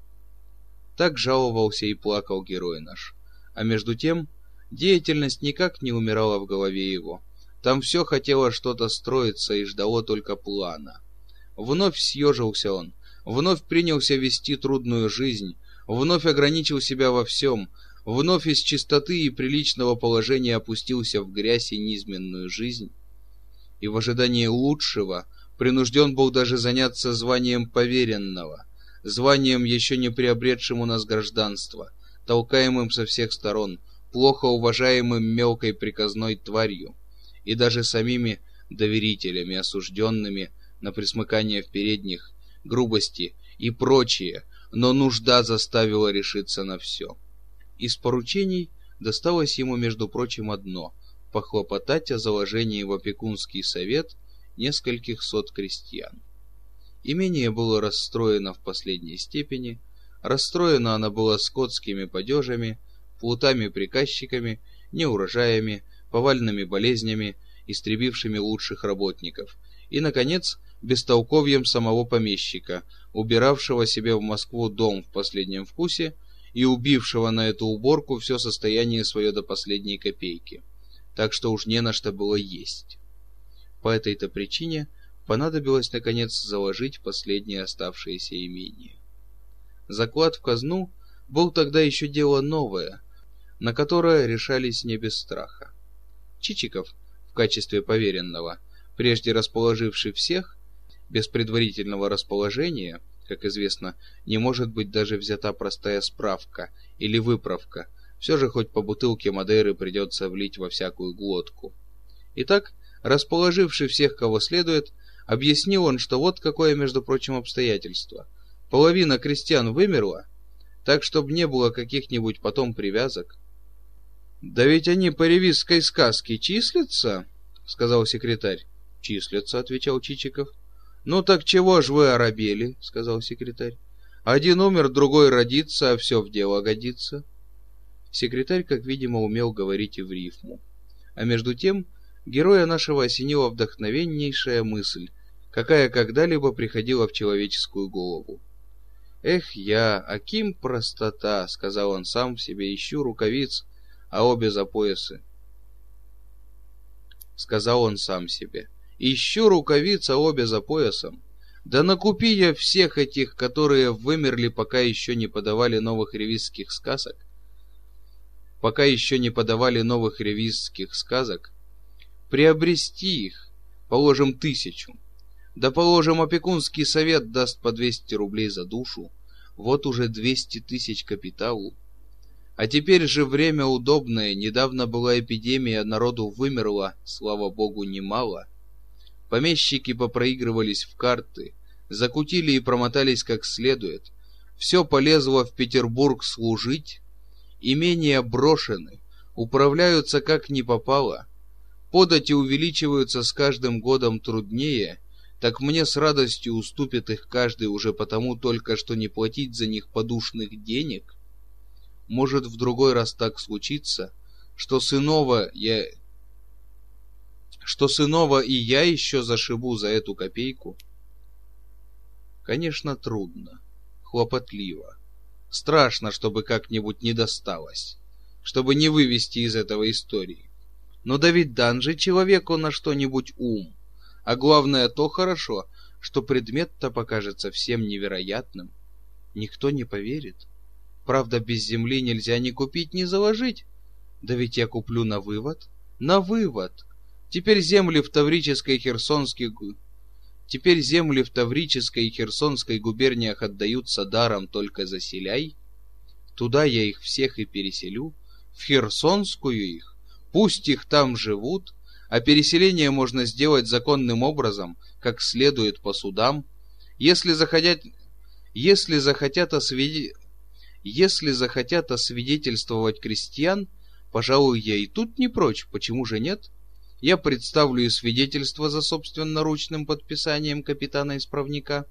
Деревню можно назвать Чичиковка, Слободка или по имени данному при крещении, Сельцо Павловское. А вот таким образом составился в голове нашего героя сей странный сюжет, за который не знаю, будут ли благодарны ему читатели, а уж как благодарен автор, так и выразить трудно. Ибо что ни говори, не приди в голову Чичикову эта мысль, не появилась бы на свет сия поэма. Перекрестясь по русскому обычаю, приступил он к исполнению. Под видом избрания места для жительства и под другими предлогами предпринял он заглянуть в те и другие углы нашего государства и преимущественно в те, которые более других пострадали от несчастных случаев, неурожаев, смертностей и прочего и прочего. Словом, где бы можно удобнее и дешевле накупить потребного народа. Он не обращался на обум ко всякому помещику, но избирал людей более по своему вкусу или таких, с которыми бы можно было с меньшими затруднениями делать подобные сделки. Стараясь прежде познакомиться, расположить к себе, чтобы, если можно, более дружбою, а не покупкою приобрести мужиков. Итак, читатели не должны негодовать на автора, если лица, до ныне явившиеся, не пришлись ему по вкусу. Это вина Чичикова. Здесь он полный хозяин, и куда ему вздумается, туда и мы должны тащиться. С нашей стороны, если точно падает обвинение за бедность и невзрачность лиц и характеров, скажем только то, что никогда вначале не видно всего широкого течения и объема дела. Въезд в какой бы то ни было город, хоть даже в столицу, всегда как-то бледен. Сначала все серо и однообразно, тянутся бесконечные заводы до фабрики, закопченные дымом, а потом уже выглянут углы шестиэтажных домов, магазины, вывески, громадные перспективы улиц, все в колокольнях, колоннах, статуях, башнях, с городским блеском и шумом, и громом, и всем, что на диво произвела рука и мысль человека. Как произвелись первые покупки, читатель уже видел.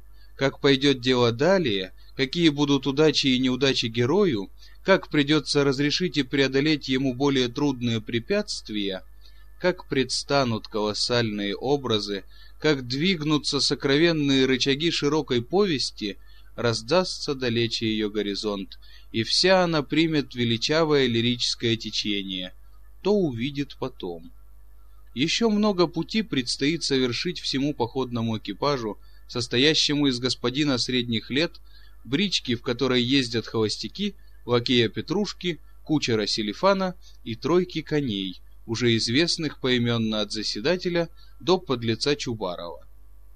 Итак, вот весь на лицо герой наш, каков он есть. Но потребует, может быть, заключительного определения одной чертою. Кто же он относительно качеств нравственных? Что он не герой, исполненный совершенств добродетелей, это видно. Кто же он? Стало быть, подлец? Почему ж подлец? Зачем же быть так строгу к другим? Теперь у нас подлецов не бывает. Есть люди благонамеренные, приятные, а таких, которые бы на всеобщий позор выставляли свою физиономию под публичную оплеуху, отыщется разве каких-нибудь два-три человека, да и те уже говорят теперь о добродетели. Справедливее всего назвать его хозяин, приобретатель. Приобретение вина всего. Из-за него произвелись дела, которым свет дает название не очень чистых. Правда, в таком характере есть уже что-то отталкивающее. И тот же читатель, который на жизненной своей дороге будет дружен с таким человеком, будет водить с ним хлеб-соль и проводить приятное время, станет глядеть на него косо, если он очутится героем драмы или поэмы. Но мудр тот, кто не гнушается никаким характером, но вперя в него испытующий взгляд, изведает его до первоначальных причин. Быстро все превращается в человеке. Не успеешь оглянуться, как уже вырос внутри страшный червь, самовластно обративший к себе все жизненные соки. И не раз не только широкая страсть, но и ничтожная страстишка к чему-нибудь мелкому разрасталась в рожденном на лучшие подвиги, заставляла его позабывать великие святые обязанности и в ничтожных побрякушках видеть великое и святое. Бесчисленны, как морские пески, человеческие страсти, и все не похожи одна на другую, и все они низкие и прекрасные, вначале покорны человеку, и потом уже становятся страшными властелинами его блажен избравший себе из всех прекраснейшую страсть. Растет и десятерится с каждым часом и минутой безмерное его блаженство, и входит он глубже и глубже в бесконечный рай своей души. Но есть страсти, которых избрание не от человека. Уже родились они с ним в минуту рождения его в свет, и не дано ему сил отклониться от них. Высшими начертаниями они ведутся, и есть в них что-то вечно зовущее, неумолкающее во всю жизнь. Земное великое поприще суждено совершить им, все равно, в мрачном ли образе, или пронестись светлым явлением, возрадующим мир, одинаково вызваны они для неведомого человеком блага. И, может быть, в всем же самом Чичикове страсть его влекущая уже не от него, и в холодном его существовании заключено то, что потом повергнет в прах и на колени человека перед мудростью небес. И еще тайна, почему сей образ предстал в ныне являющейся на свет поэме. Но не то тяжело, что будут недовольны героем, тяжело то, что живет в душе неотразимая уверенность, что тем же самым героем, тем же самым Чичиковым были бы довольны читатели. Не загляни автор поглубже ему в душу, не шевельни на дне ее того, что ускользает и прячется от света, не обнаружь сокровеннейших мыслей, которые никому другому не вверяет человек, а покажи его таким, каким он показался всему городу, Манилову и другим людям, и все были бы радешеньки, и приняли бы его за интересного человека. Нет нужды, что ни лицо, ни образ его не метался бы как живой перед глазами. Зато по окончании чтения душа не встревожена ничем, и можно обратиться вновь к карточному столу, тешащему всю Россию. Да, мои добрые читатели, вам бы не хотелось видеть обнаруженную человеческую бедность. Зачем, говорите вы, к чему это? Разве мы не знаем сами, что есть много презренного и глупого в жизни? И без того случается нам часто видеть то, что вовсе не утешительно. Лучше же представляйте нам прекрасное, увлекательное. Лучше пусть позабудемся мы. Зачем ты, брат, говоришь мне, что дела в хозяйстве идут скверно, говорит помещик приказчику.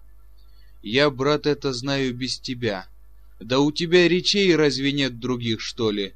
Ты дай мне позабыть это, не знать это, и тогда я счастлив. И вот те деньги, которые бы поправили сколько-нибудь дело, идут на разные средства для приведения себя в забвение. Спит ум. Может быть, и обретший бы внезапный родник великих средств, а там имение бух с аукциона, и пошел помещик забываться по миру с душою, от крайности готовую на низости, которых бы сам ужаснулся прежде. Еще падет обвинение на автора со стороны так называемых патриотов, которые спокойно сидят себе по углам и занимаются совершенно посторонними делами, накопляют себе капитальцы, устроивая судьбу свою насчет других, но как только случится что-нибудь, по мнению их оскорбительное для Отечества, появится какая-нибудь книга, в которой скажется иногда горькая правда, они выбегут со всех углов, как пауки, увидевшие, что запуталась в паутину муха, и подымут вдруг крики Да хорошо ли выводить это на свет, провозглашать об этом? Ведь это все, что не описано здесь, это все наше. Хорошо ли это? А что скажут иностранцы? Разве весело слышать дурное мнение о себе? Думают, разве это не больно? Думают, разве мы не патриоты? На такие мудрые замечания, особенно насчет мнения иностранцев, признаюсь, ничего нельзя прибрать в ответ. А разве вот что? Жили в одном отдаленном уголке России два обитателя. Один был отец семейства по имени Кифа Мокиевич, человек нрава короткого, проводивший жизнь халатным образом. Семейством своим он не занимался, Существование его было обращено более в умозрительную сторону и занято следующим, как он называл, философическим вопросом. «Вот, например, зверь», — говорил он, ходя по комнате. «Зверь родится нагишом. Почему же именно нагишом? Почему не так, как птица? Почему не вылупливается из яйца? Как, право того, совсем не поймешь натуры, как побольше в нее углубишься?» Так мыслил обитатель Кифа Мокиевич. Но не в этом еще главное дело. Другой обитатель был Мокий Кифович, родной сын его. Был он то, что называют на Руси богатырь. И в то время, когда отец занимался рождением зверя, двадцатилетняя плечистая натура его так и порывалась развернуться. Ни за что не умел он взяться слегка. Все или рука у кого-нибудь затрещит, или волдырь вскочит на чьем-нибудь носу. В доме и в соседстве все, от дворовой девки до дворовой собаки, бежало прочь его завидя. Даже собственную кровать в спальне изломал он на куски. Таков был Мокий Кифович. А впрочем, был он доброй души. Но не в этом еще главное дело. А главное дело вот в чем. Помилуй, батюшка барин, Кифа Мокиевич, говорила отцу и своя, и чужая деревня. «Что у тебя за Мокий Кифович? Никому нет от него покоя. Такой припертень». «Да, шаловлив, шаловлив», — говорил обыкновенно на это отец. «Так ведь как быть? Драться с ним поздно, да и меня же все обвинят в жестокости. А человек он честолюбивый, укори его при другом третьем, он уймется, да ведь гласность-то, вот беда». Город узнает, назовет его совсем собакой. Что, право, думают мне, разве не больно? Разве я не отец? Что занимаюсь философией, да иной раз нет времени, так уж я и не отец? Ан вот нет же, отец. Отец, черт их побери, отец. У меня, Мокий Кифович, вот тут сидит в сердце. Тут Кифа Мокиевич бил себя весьма сильно в грудь кулаком и приходил в совершенный азарт. Уж если он и останется с собакой, то пусть же не от меня об этом узнают, пусть не я выдам его. И показав такое отеческое чувство, он оставлял Моки Акифовича продолжать богатырские свои подвиги, а сам обращался вновь к любимому предмету, задав себе вдруг какой-нибудь подобный вопрос. Ну а если бы слон родился в яйце, ведь скорлупа, чай сильно бы толста была, пушкой не прошибешь нужно какое-нибудь новое огнестрельное орудие выдумать. Так проводили жизнь два обитателя мирного уголка, которые неожиданно, как из окошка, выпрыгнули в конце нашей поэмы, выглянули для того, чтобы отвечать скромно на обвинения со стороны некоторых горячих патриотов, до времени покойно занимающихся какой-нибудь философией или приращениями насчет сумм, нежно любимого ими Отечества, думающих не о том, чтобы не делать дурного, а о том, чтобы только не говорили, что они делают дурное. Но нет, не патриотизм и не первое чувство суть причины обвинений, другое скрывается под ними. К чему таить слово? Кто же, как не автор, должен сказать святую правду? Вы боитесь глубоко устремленного взора, вы страшитесь сами устремить на что-нибудь глубокий взор. Вы любите скользнуть по всему неподумающими глазами. Вы посмеетесь даже от души над Чичиковым. Может быть, даже похвалите автора и скажете «Однако ж кое-что он ловко подметил. Должно быть веселого нрава человек». И после таких слов с удвоившейся гордостью обратитесь к себе. Самодовольная улыбка покажется на лице вашем, и вы прибавите. А ведь должно согласиться, пристранные и присмешные бывают люди в некоторых провинциях, да и подлецы притом немалые. А кто из вас, полный христианского смирения, негласно в тишине, один, в минуты уединенных бесед с самим собой, углубит вовнутрь собственной души сей тяжелый запрос. А нет ли во мне какой-нибудь части Чичикова? Да как бы не так. А вот пройди в это время мимо его какой-нибудь его же знакомый, имеющий чин, или слишком большой, или слишком малый, он в ту же минуту толкнет под руку своего соседа и скажет ему, чуть не фыркнув от смеха, «Смотри, смотри, вон Чичиков, Чичиков пошел!» и потом, как ребенок, позабыв всякое приличие, должное званию или там, побежит за ним вдогонку, подразнивая сзади и приговаривая «Чичиков! Чичиков! Чичиков!» Но мы стали говорить довольно громко, позабыв, что герой наш, спавший во все время рассказа его повести, уже проснулся и легко может услышать так часто повторяемую свою фамилию. Он же человек обидчивый и недоволен, если о нем изъясняются неуважительно. Читателю с полугоря, рассердится ли на него Чичиков или нет, но что до автора, то он ни в коем случае не должен ссориться со своим героем. Еще немало пути и дороги придется им пройти вдвоем рука в руку. Две большие части впереди. Это не безделица. «Эхе-хе, что ж ты?» — сказал Чичиков Селифану. «Что?» — сказал Селифан медленным голосом. «Как что? Гусь ты! Как ж ты едешь? Ты ж потрогивай!» В самом деле Селифан давно ехал уже, зажмуря глаза, изредка только потряхивая в просонках вожжами по бокам дремавших тоже лошадей. А с Петрушки уже давно невесть в каком месте слетел картуз, и он сам, опрокинувшись назад, уткнул свою голову в колено Чичикову. Так что тот должен был дать ей щелчка. Селифан приободрился и, отшлепавший несколько раз по спине Чубарова, после чего тот пустился трусцой, да помахнувши сверху кнутом на всех, примолвил тонким певучим голосом «Не бойся!» Лошадки расшевелились и понесли, как пух, легонькую бричку.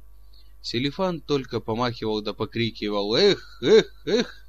плавно подскакивая на козлах по мере того, как тройка то взлетала на пригорок, то неслась духом с пригорка, которыми была усеяна вся столбовая дорога, стремившаяся чуть заметным накатом вниз. Чичиков только улыбался, слегка подлетывая на своей кожаной подушке, ибо любил быструю езду. И какой же русский не любит быстрой езды? Его ли душе, стремящейся закружиться, загуляться, сказать иногда «черт побери все», его ли душе не любить ее? Ее ли не любить, когда в ней слышится что-то восторженно чудное? Кажись, неведомая сила подхватила тебя на крыло к себе, и сам летишь, и все летит. Летят версты, летят навстречу купцы на облучках своих кибиток. Летит с обеих сторон лес с темными слоями елей и сосен, с топорным стуком и вороньим криком. Летит вся дорога невесть куда в пропадающую даль, и что-то страшное заключено в всем быстром мельканье, где не успевает означиться пропадающий предмет. Только небо над головою да легкие тучи, да продирающийся месяц, одни кажутся неподвижны. Эх, тройка, птица-тройка, кто тебя выдумал? Знать у бойкого народа ты могла только родиться в той земле, что не любит шутить, а ровнем, гладнем разметнулась на пол света, да и ступай считать версты, пока не заребит тебе в очи. И не хитрый, кажись, дорожный снаряд, не железным схвачен винтом, а наскоро, живьем, с одним топором да долотом снарядил и собрал тебя ярославский расторопный мужик. Не в немецких ботфортах ямщик, борода до рукавицы и сидит черт знает на чем — да привстал, да замахнулся, да затянул песню «Кони вихрем», спицы в колесах смешались в один гладкий круг. Только дрогнула дорога, да вскрикнул в испуге остановившийся пешеход. И вот она, понеслась, понеслась, понеслась. И вот уже видно вдали, как что-то пылит и сверлит воздух. Не так ли и ты, Русь, что бойкая, необгонимая тройка несешься? Дымом дымится над тобою дорога, гремят мосты, все отстает и остается позади. Остановился пораженный Божьим чудом созерцатель. Не молния ли это сброшенная с неба? Что значит это наводящее ужас движение? И что за неведомая сила заключена в всех неведомых светом конях? Эх, кони, кони, что за кони? В вихре ли сидят в ваших гривах? Чуткое ли ухо говорит во всякой вашей жилке? Заслышали с вершины знакомую песню, дружно и разом напрягли медные груди, и почти не тронув копытами земли, превратились в одни вытянутые линии, летящие по воздуху, и мчится вся вдохновенная Богом. Русь, куда ж ты несешься? Дай ответ. Не дает ответа. Чудным звоном заливается колокольчик, гремит и становится ветром разорванный в куски воздух. Летит мимо все, что не есть на земли. И, косясь, постараниваются и дают ей дорогу другие народы и государства.